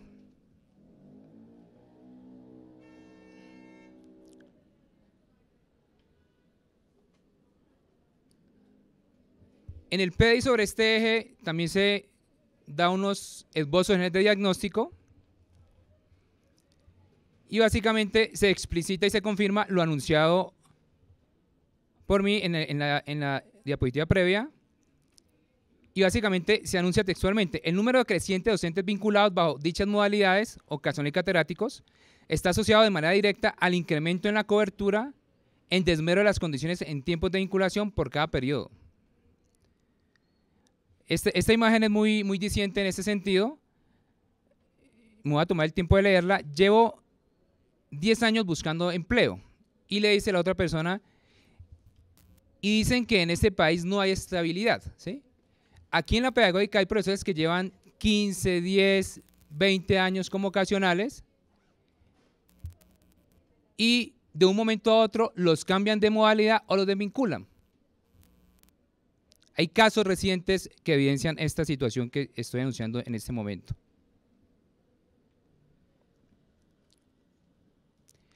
En el IPN la, situación no es tan diferente. Del 2000, en el 2005 se contaba con 102 profesores de planta en el IPN y con tan solo 39 profesores ocasionales. En los últimos 12 años, el incremento ha sido sustancial en ocasionales y gradualmente se ha ido disminuyendo la planta docente de planta, valga la redundancia, en, el IPN. A hoy 2017 se cuenta con 65 profesores de planta que representa el 44,5% y profesores ocasionales 81 que representa el 55,5%.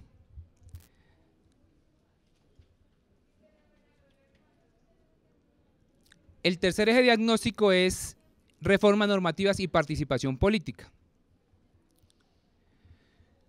En este eje, el diagnóstico es complicado. ¿sí? En, el, eje presupuestal es crítico, en la planta docente es alarmante y en este eje es complicado, ya que la UPN tiene una excesiva cantidad normativa, anacrónica en el tiempo y contradictorias entre sí mismas. Y este exceso normativo hace muy difícil que el profesorado se dé a la tarea de apropiarse de la normativa que regula su ejercicio docente. Muy frecuentemente se incumple lo establecido en las normas internas. Por citar tan solo ejemplos, el Acuerdo 004-2003 eh, no se cumple plenamente. Hay unidades académicas en las cuales le asignan a los profesores horas lectivas de clase por encima de lo normado en ese acuerdo. Eh, no hay claridad y no determina el acuerdo rubros máximo para apoyo a la docencia. Y el plan de trabajo no se concerta en realidad y de manera efectiva como lo establece el acuerdo. El otro ejemplo normativo que no se cumple es el Estatuto General, que es la norma máxima de funcionamiento de la Universidad Pedagógica Nacional y que se puede asimilar como a la Constitución Política de Colombia. Sería, esa sería la Constitución de la Pedagógica. Concretamente el artículo que no se cumple es el artículo 59. Me voy a dar a la tarea de leerlo textualmente para indicar por qué no se cumple. A los profesores ocasionales sus servicios les serán reconocidos por resolución y gozarán del régimen prestacional proporcional a sus horas de trabajo. Eso que está subrayado en esta diapositiva no se cumple en este momento en la Universidad Pedagógica Nacional porque a los profesores ocasionales y catedráticos no les reconocen todas las prestaciones sociales en proporción al tiempo de servicio como lo indica este artículo. Si bien este artículo indica que y le da ese derecho a los ocasionales, esto se le debería ampliar y extender a los catedráticos en cumplimiento de la sentencia C06 de 1996. A hoy 2017 a los profesores ocasionales y catedráticos no les reconocen ni vacaciones, ni prima de vacaciones, ni prima de servicios, ni bonificación por servicios prestados. Y ese no reconocimiento implica un déficit no reconocido por la administración, que a 2015, en los cálculos que se surtió en la negociación con la administración, ascendía a 3.250 millones de pesos para todos los profesores de la universidad. A hoy 2017, estimo que eso debe ascender más o menos a 4 millones de pesos. Entonces, es un déficit no reconocido para hoy 2017 que estamos en un superávit supuesto de 500 millones de pesos en el presupuesto de la universidad.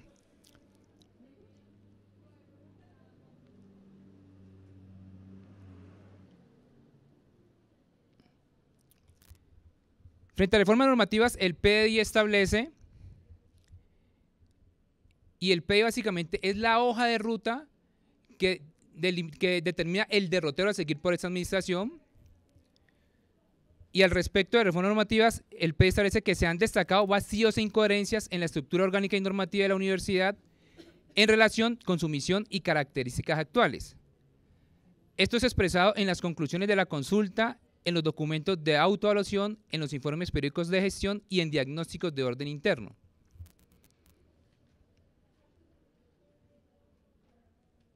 Y el cuarto y último eje del diagnóstico es el relacionado con planta física.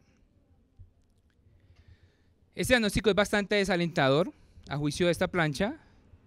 La Casa de los Maestros carece de un campus universitario que garantice una casa digna para el desarrollo de las actividades misionales de la comunidad universitaria. Se presentan problemas de hacinamiento en las aulas de clases, edificios con problemas de, de deterioro en su infraestructura, profesores sin un espacio adecuado y digno para su labor.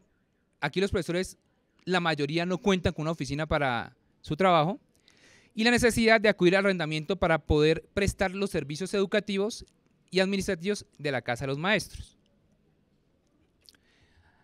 Alrededor de este cuarto y último eje del diagnóstico, el PDI expresa textualmente, la sede de la universidad, abro comillas, amenaza en ruina. Situación evidente en la cotidianidad de estudiantes, profesores, trabajadores y funcionarios administrativos. Los organismos de control también han llamado la atención con respecto a esta situación. El subrayado es propio. Y esta imagen pues es muy disidente de la situación y se asocia mucho a esa entrecomillado que se resalta en el PDI textualmente de la administración.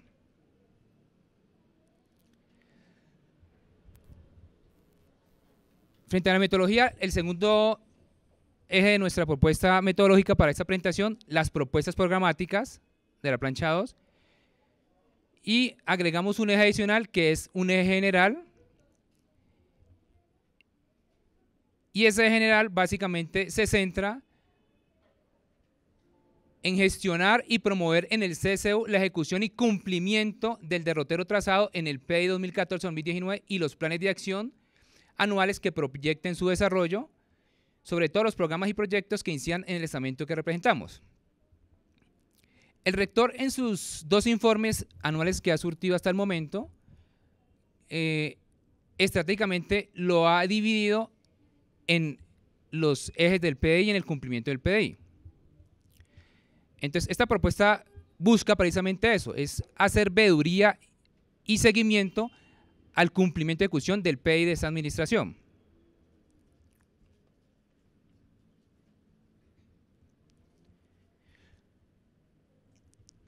Frente al eje presupuestal, las propuestas de esa plancha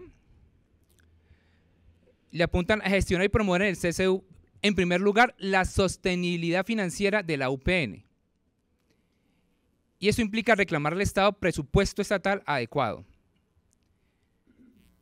Como anuncié al principio, eso es una labor de todos, de todos los estamentos, no solo el estamento profesoral, sino de toda la comunidad, y eso se logra es por vía de movilización. La coyuntura actual del paro de FECODE nos demuestra que las vías de hecho funcionan y se logran resultados efectivos por medio de estas vías de hecho. El segundo, la segunda propuesta es que el presupuesto adicional de la reforma tributaria se destine para formalización laboral docente, concretamente para los, para los profesores mal llamados ocasionales y catedráticos de la UPN. El tercer, la tercera propuesta de acción de esta plancha es requerir al Gobierno Nacional el reconocimiento y pago de la deuda por la ampliación de cobertura. Si bien recuerdan el diagnóstico, la Administración identificó que se ha ampliado cobertura significativamente sin que el gobierno destine el presupuesto para soportar esa ampliación en cobertura. Y anunciando que esa carga de ese déficit presupuestal ha recaído en la forma de vinculación irregular de los profesores ocasionales y catedráticos. Requería al Gobierno Nacional el reconocimiento y pago retroactivo del ajuste del valor del punto. El punto salarial de los docentes está evaluado porque en 2000, 2002 y 2003 no se incrementó por encima del IPC y goza de una evaluación desde ese momento a la fecha. A hoy 2017 el punto en estimaciones de ASPO Nacional debería estar valorado más o menos en 3.700 pesos. Frente a planta de personal docente, las propuestas son gestionar y promover en el CSU, en primer lugar, cumplimiento de la normativa docente en relación con año sabático, comisiones de estudio, comisiones de servicios, comisiones administrativas, etcétera, etcétera. En segundo punto, es cumplimiento de lo establecido en el P 2014-2019 en relación con el mejoramiento en el corto plazo de las condiciones laborales de los profesores mal llamados ocasionales catedráticos. Esta administración ya lleva tres años y en realidad ese corto plazo ya venció, ¿sí? ya estamos a un año, un poquito más de un año y en realidad la mejora que se ha visto tan solo ha sido la ampliación en una semana de vinculación para el profesorado. Una mejora sustancial para este propósito sería el reconocimiento prestacional al que tenemos derecho todos los profesores ocasionales y catedráticos de la Universidad Pedagógica Nacional. El tercer eje propositivo de la planta personal docente es formalización laboral gradual durante los próximos cinco años de los profesores mal llamados ocasionales catedráticos. Y esta gradualidad le apunta a que se proyecten ampliación en cada año y que esa ampliación eh, se logre concertadamente entre la administración y el profesorado, intentando garantizar la vinculación de los profesores que llevan, por ejemplo, como ocasionales 20 años, 15 años, 10 años, y que esa gradualidad se, surta en esos términos, ¿sí? Y el cuarto eje propositivo es cumplimiento de la normativa interna y de las sentencias de las altas cortes, concretamente de la circular 053 del 13 de diciembre de 2016, que básicamente le apunta a lo que ha anunciado que no se reconoce a los profesores ocasionales y catedráticos a hoy 2017, las prestaciones sociales en proporción al tiempo de servicio. Frente a la planta docente también nos proponemos propiciar una discusión pública abierta de cara a todos los estamentos de la UPN y del IPN en lo relacionado con la precarización laboral docente, la informalidad del trabajo, la proletarización docente y el carácter público y privado del IPN. Hay una incertidumbre jurídica frente al carácter real del IPN como institución pública o privada. De hecho, ayer en el espacio del IPN, eh, esta plancha gestionó que se concretara una reunión con los profesores del IPN con el propósito de que ellos también escucharan las dos planchas y las dos propuestas programáticas. Y de, esa, de ese espacio, eh, dos profesores nos abordaron al final de, de, la reunión, el profesor José Melo y Luz Adriana Castañeda, eh, para también aportarle a las iniciativas de esta plancha. Entonces, frente a reformas normativas, participación política, la propuesta concreta es trabajar dinámicamente con el estamento que representaremos en la elaboración y construcción participativa y colectiva con el estamento docente de la UPN y del IPN en la reforma normativa y orgánica establecida en el PI 2014-2019. Al respecto, es pertinente resaltar que hay que aprovechar un espacio ya nacional creado para este propósito y es ARPUD, que es la Asociación de Representantes Profesorales a los CSU de todas las universidades del país, que ya también está vinculando a los representantes de los consejos académicos y es un espacio de interlocución nacional que no hay que aprovechar, desaprovechar y que la pedagógica a hoy no ha sido muy activa y participativa, participativa en ese espacio.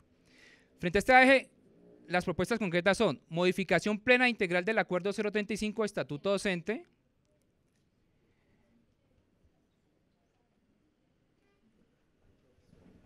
Bueno,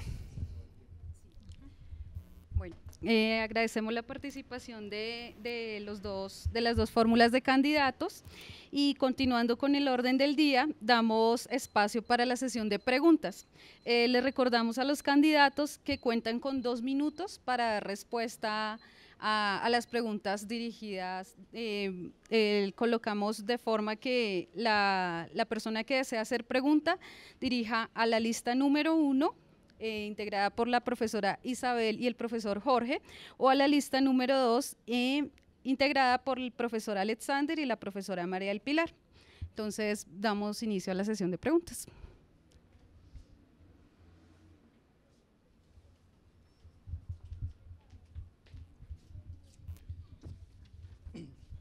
Buenas tardes.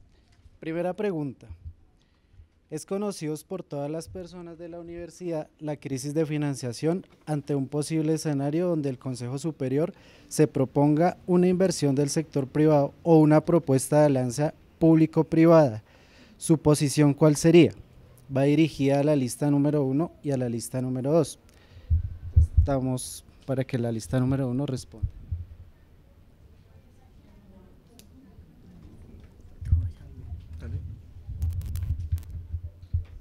Bien, hasta, hasta donde tengo entendido, eh, se decidió eh, ya en una reunión amplia que citó el señor rector en el aula multipropósito que dado que muchos estamentos de la universidad, los distintos estamentos, empleados, profesores, estudiantes no estaban de acuerdo con hacer una hacer, hacer vínculos con el sector privado para adelantar eh, los trabajos requeridos en la planta física de la universidad, eso ya fue, o sea, eso ya fue dejado de lado hasta donde yo entiendo. Y si es así, lo que toca mirar es cómo se va a hacer y cómo lo vamos a hacer. A mí incluso me llama la atención ver todavía carteles eh, señalando eso, siendo que ya se llegó a un acuerdo en que eso no se va a hacer.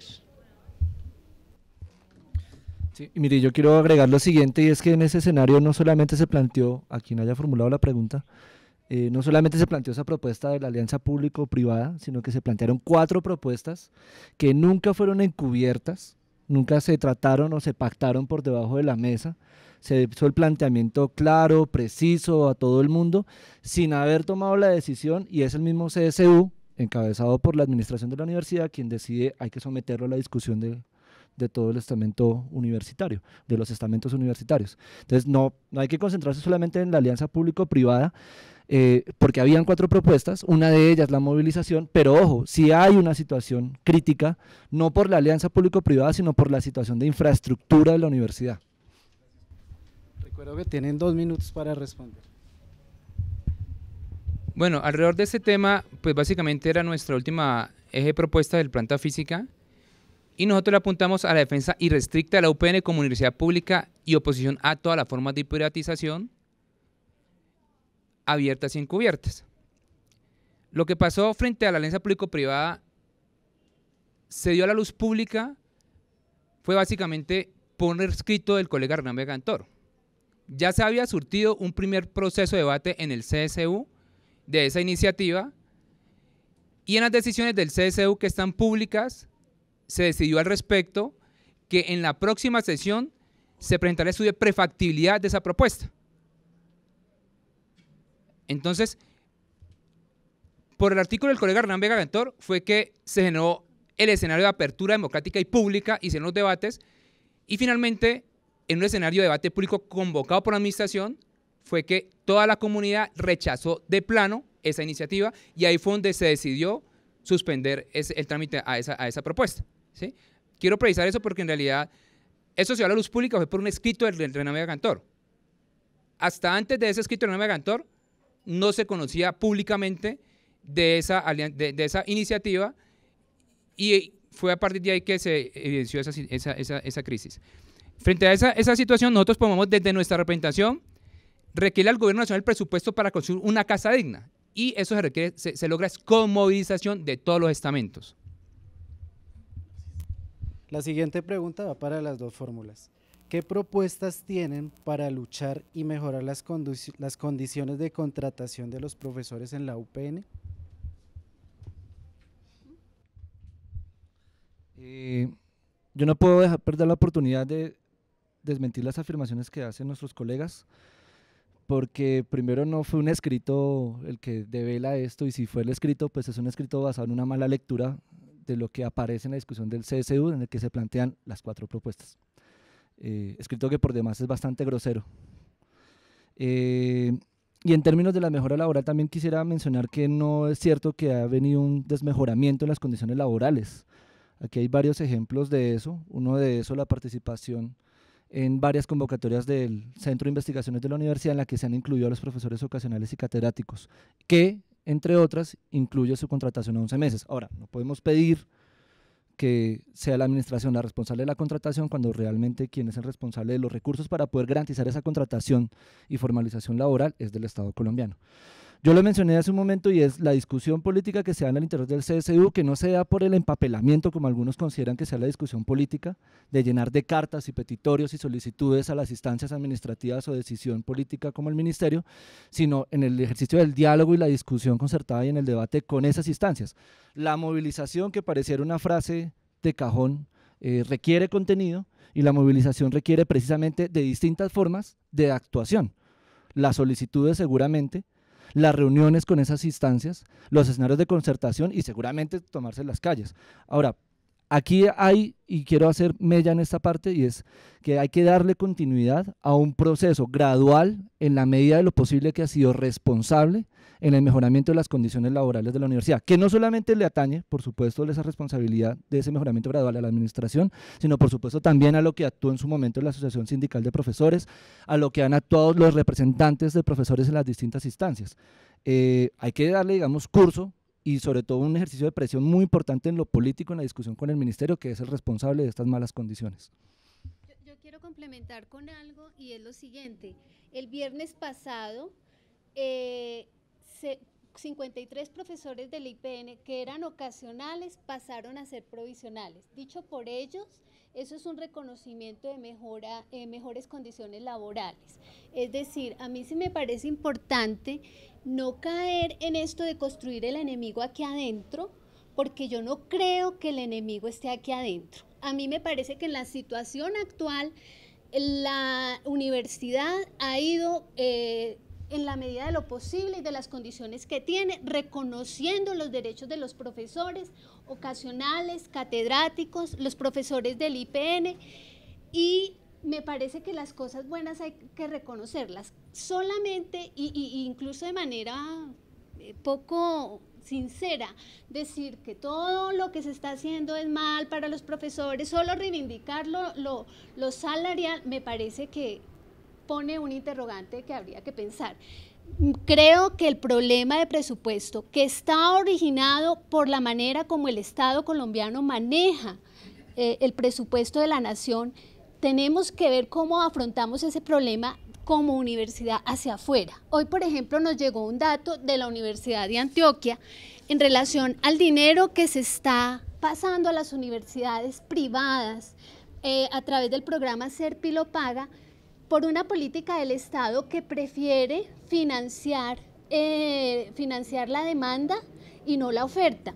Y las cinco universidades que se están llevando gran parte del presupuesto de, de la educación superior son la Universidad del Norte, 47 mil millones de pesos 2015-2016.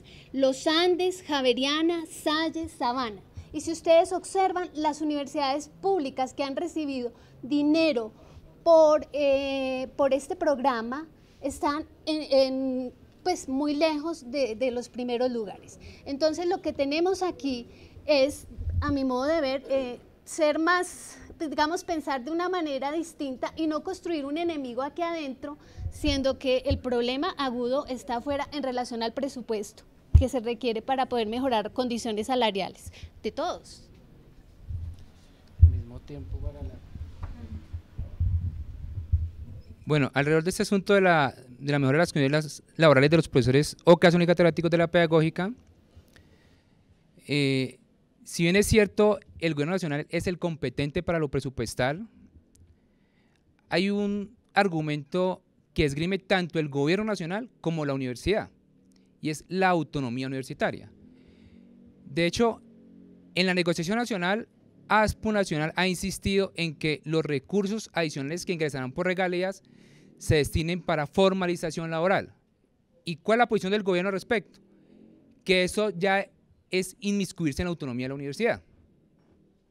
En sesión del Consejo Académico antepasada, si mal no recuerdo, en la cual estuvo Alexander Aldana y el suscrito como fiscal de ASPO, le planteé esa iniciativa de ASPO Nacional y el rector también me manifestó en el mismo sentido, que eso ya era marco de la autonomía y que ya el CSU era el que decidía cómo destinar esos recursos adicionales de reforma tributaria, si eran para formalización o para qué rubro específico lo destinaban.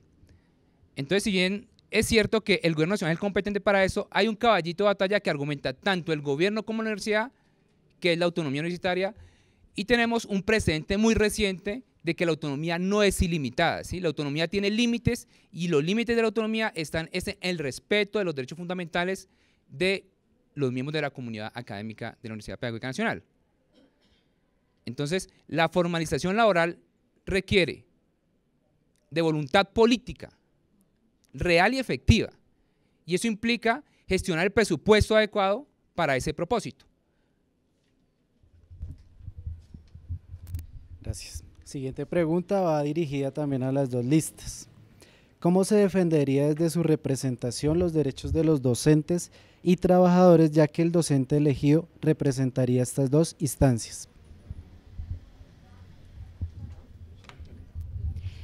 Yo aclararía, y eso mm, pues me alegra que hagan la, pregunta, eh, nosotros estamos apostándole a ser representante de profesores no representante de los trabajadores, no representante estudiantil. Eh, y en ese sentido nosotros actuaremos como representantes de los profesores. Y hay que sumarle algo y es la inexistencia precisamente y la disparidad que existe en estos órganos de representación de otros estamentos uno que ya mencionaron, que es el de los trabajadores, que digamos, en el marco de la reforma orgánica, de la reforma normativa de la universidad, es necesario poner en discusión y plantear la necesidad de otras instancias de representación de esos estamentos que les permita realmente eh, ser representados en esas instancias de decisión.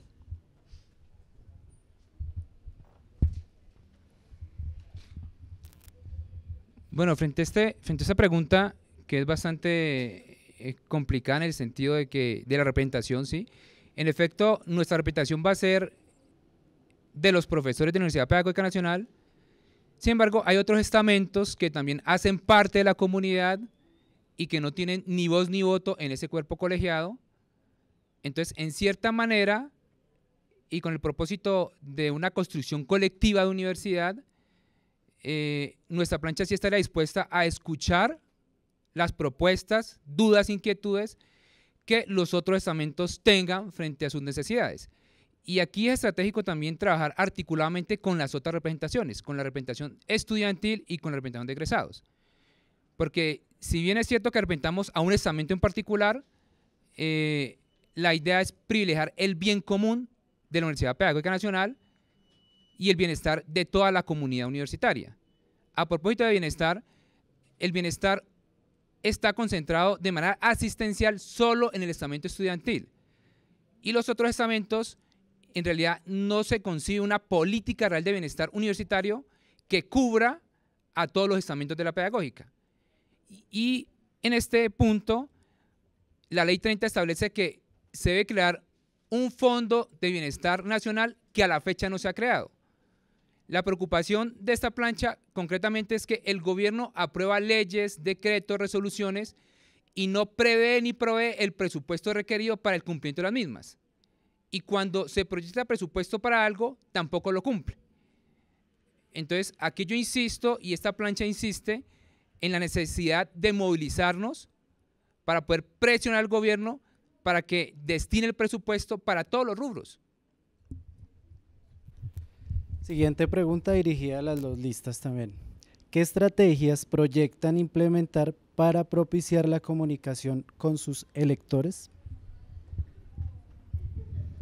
Bien, eh, como lo dijimos en la presentación de la propuesta, en primer lugar nosotros estamos eh, pensando en construir y fortalecer el colectivo de tres profesores que somos los que hemos armado la propuesta eh, para trabajar conjuntamente eh, la representación profesoral.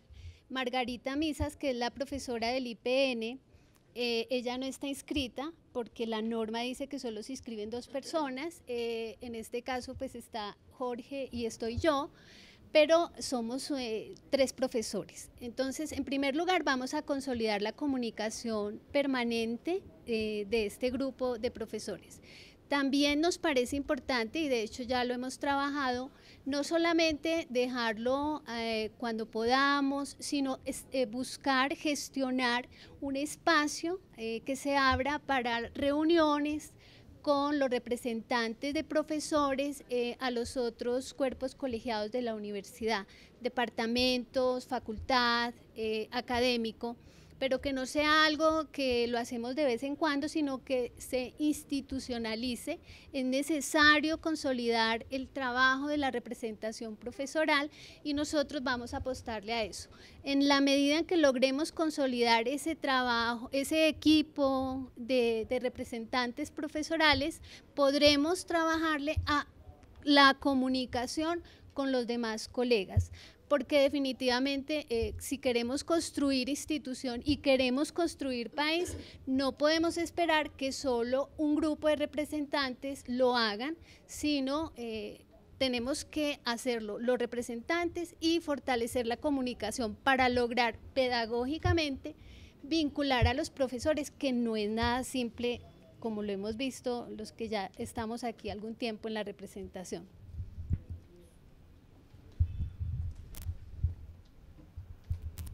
Bueno, las estrategias que nosotros hemos venido manejando para dar a conocer nuestra propuesta, eh, inicialmente lo hicimos a través del correo electrónico, difundimos nuestra propuesta tanto a los docentes eh, del IPN como a algunos docentes de la Universidad Pedagógica, eh, también a través pues, de, de la página.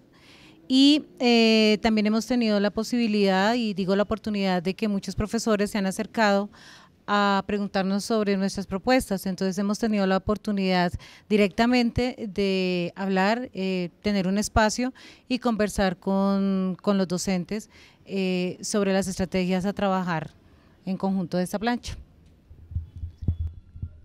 Alrededor de este tema también sería estratégico recuperar un espacio que está creado en la página de la pedagógica, eh, hay un link para que los representantes a profesores, estudiantes y egresados eh, publiquen sus informes, interlocuten con la comunidad.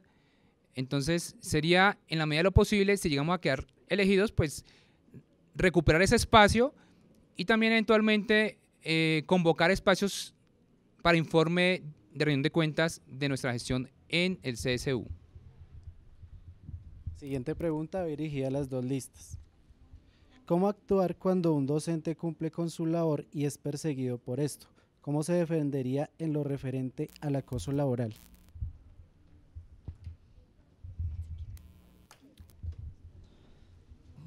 Eso, digamos, ha tenido varios nombres en los últimos años en la universidad y eh, yo sí quiero hacer mención de lo que calificaríamos como el debido proceso.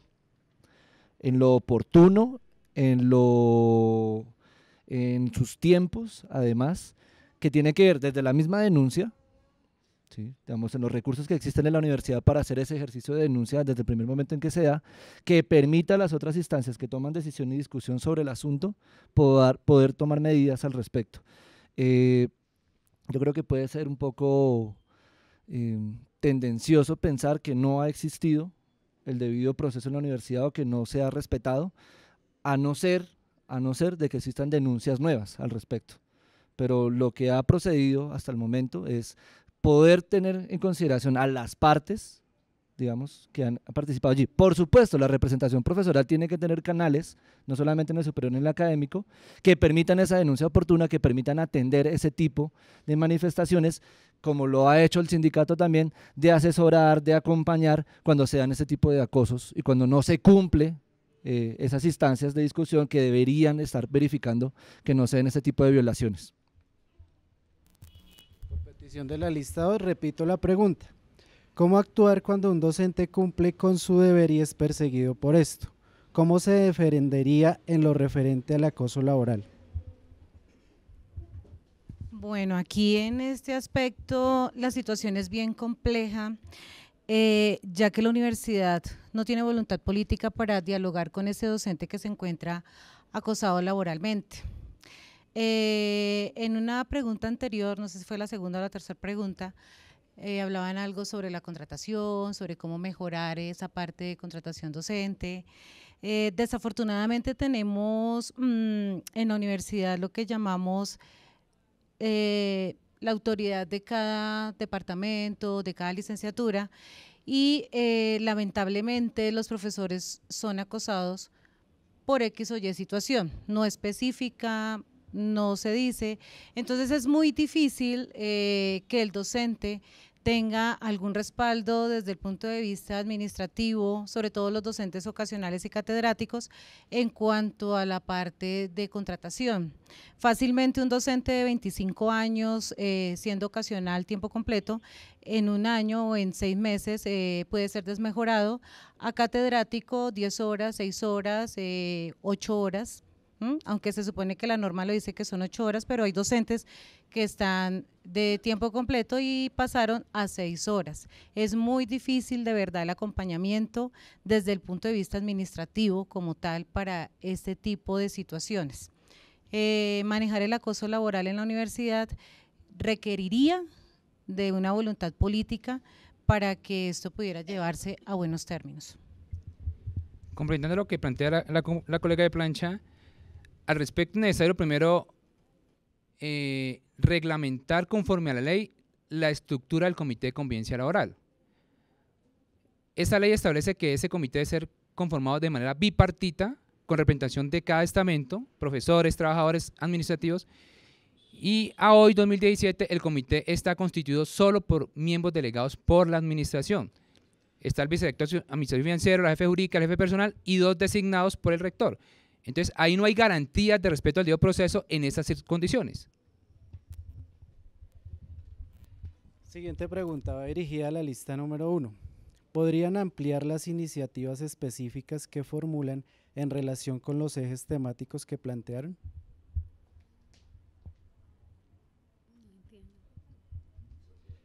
¿Podrían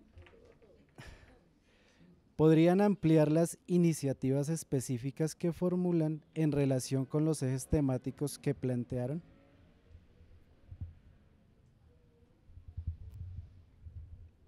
Bueno, me llama la atención la pregunta porque pues están pidiendo que ampliemos todos los puntos que hemos presentado. No sé, pues si quieren nos centramos, por ejemplo, en el del eje de paz.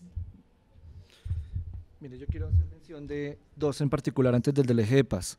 Uno que tiene que ver con la crisis financiera de la universidad. La crisis de la universidad tiene que ver con tres aspectos que se ha mencionado, pero que hay que mirar en su detalle. Uno, la deuda causada. Dos, la falta de recursos para la infraestructura en las 32 universidades públicas del país. Y tres, eh, lo que ha sido la falta del aumento de la base presupuestal de las universidades. Eso es una discusión ni siquiera solamente con el Ministerio de Educación para ampliar, sino con el Ministerio de Hacienda. Es una discusión con los entes territoriales que, como en el caso de la Universidad Pedagógica, no han asumido la responsabilidad que tienen, legítimamente decimos nosotros, de también financiar esta universidad que atiende población o que recibe población de la ciudad y del departamento y que no percibe ningún recurso de estos entes territoriales, eh, pero que además, sumándome a esa otra vez a la expresión de movilización, requiere distintos canales de discusión que logren concertar esas voluntades políticas que no se han logrado definir desde hace mucho tiempo. Eh, en lo que tiene que ver con el eje de paz, no solamente con el eje de paz, sino con todos los ejes que han sido desarrollados, que han sido, perdón, formulados en el PDI de la universidad. Eh, uno, se trata de un PDI que por primera vez no fue construido con el pago a unos asesores externos, sino que fue construido con la participación de buena parte de toda la comunidad, que no le costó un peso de asesores a la universidad. Dos, que es un mandato no de la administración actual, sino que es un mandato de la comunidad universitaria, desde los trabajadores, profesores, estudiantes, etcétera, etcétera, que han dicho queremos que en estos cuatro años se debe regir al cumplimiento de esto.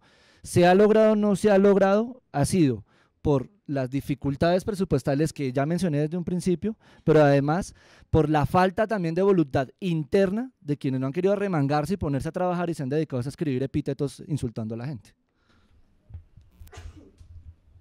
La siguiente pregunta va dirigida a la lista número 2. ¿Cómo se piensa construir una agenda para que mejoren los problemas estructurales de la UPN si ni siquiera se reconocen los logros generados en esta administración ni se percibe una disposición para trabajar mancomunadamente. ¿Cuál es la diferencia entre la representación profesoral y la agenda de ASPO?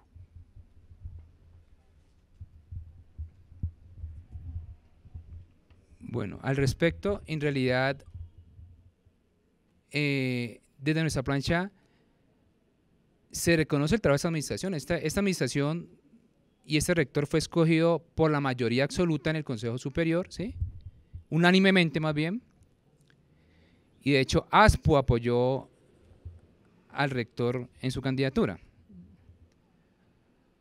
Eh, nuestra propuesta articulada a la administración es el eje central de nuestro actuar, que es la ejecución y cumplimiento del PDI. Es acompañar con nuestras gestiones en el CCU el efectivo cumplimiento de los proyectos formulados como PDI. Incluso a hoy 2017 ya hay varios proyectos y temáticas que por cuestiones coyunturales de tiempo no se van a alcanzar a cumplir. Una de ellas es lo de la modificación o la reestructuración y elaboración participativa y colectiva de toda la comunidad del PI. Había un presupuesto destinado para ello y ya en tres años no se ha iniciado trabajo en ese aspecto o por lo menos no se ha dado a conocer públicamente. Entonces, ese, ese proyecto por lo menos dudo mucho que se pueda ejecutar en esta administración. Y otro proyecto que, que, está en duda en este momento y que desde esta representación se intentará jalonar su ejecución efectiva es lo de la reforma plena e integral al Estatuto General, que a juicio nuestro es la primera norma llamada a reformar antes que cualquier otra norma. Porque las otras normas básicamente están sujetas al Estatuto General. Si reformamos otras normas antes del Estatuto General, vamos a caer en el anacronismo en tiempo de la normativa, como estamos en este momento, en razón de que eh, hay antinomias en diferentes normas. Por ejemplo, el estatuto docente nos da el derecho a elegir elegidos, pero el estatuto general no lo quita. ¿sí? Y como el estatuto general es norma superior, pues obviamente se acoge a lo que dice el estatuto general.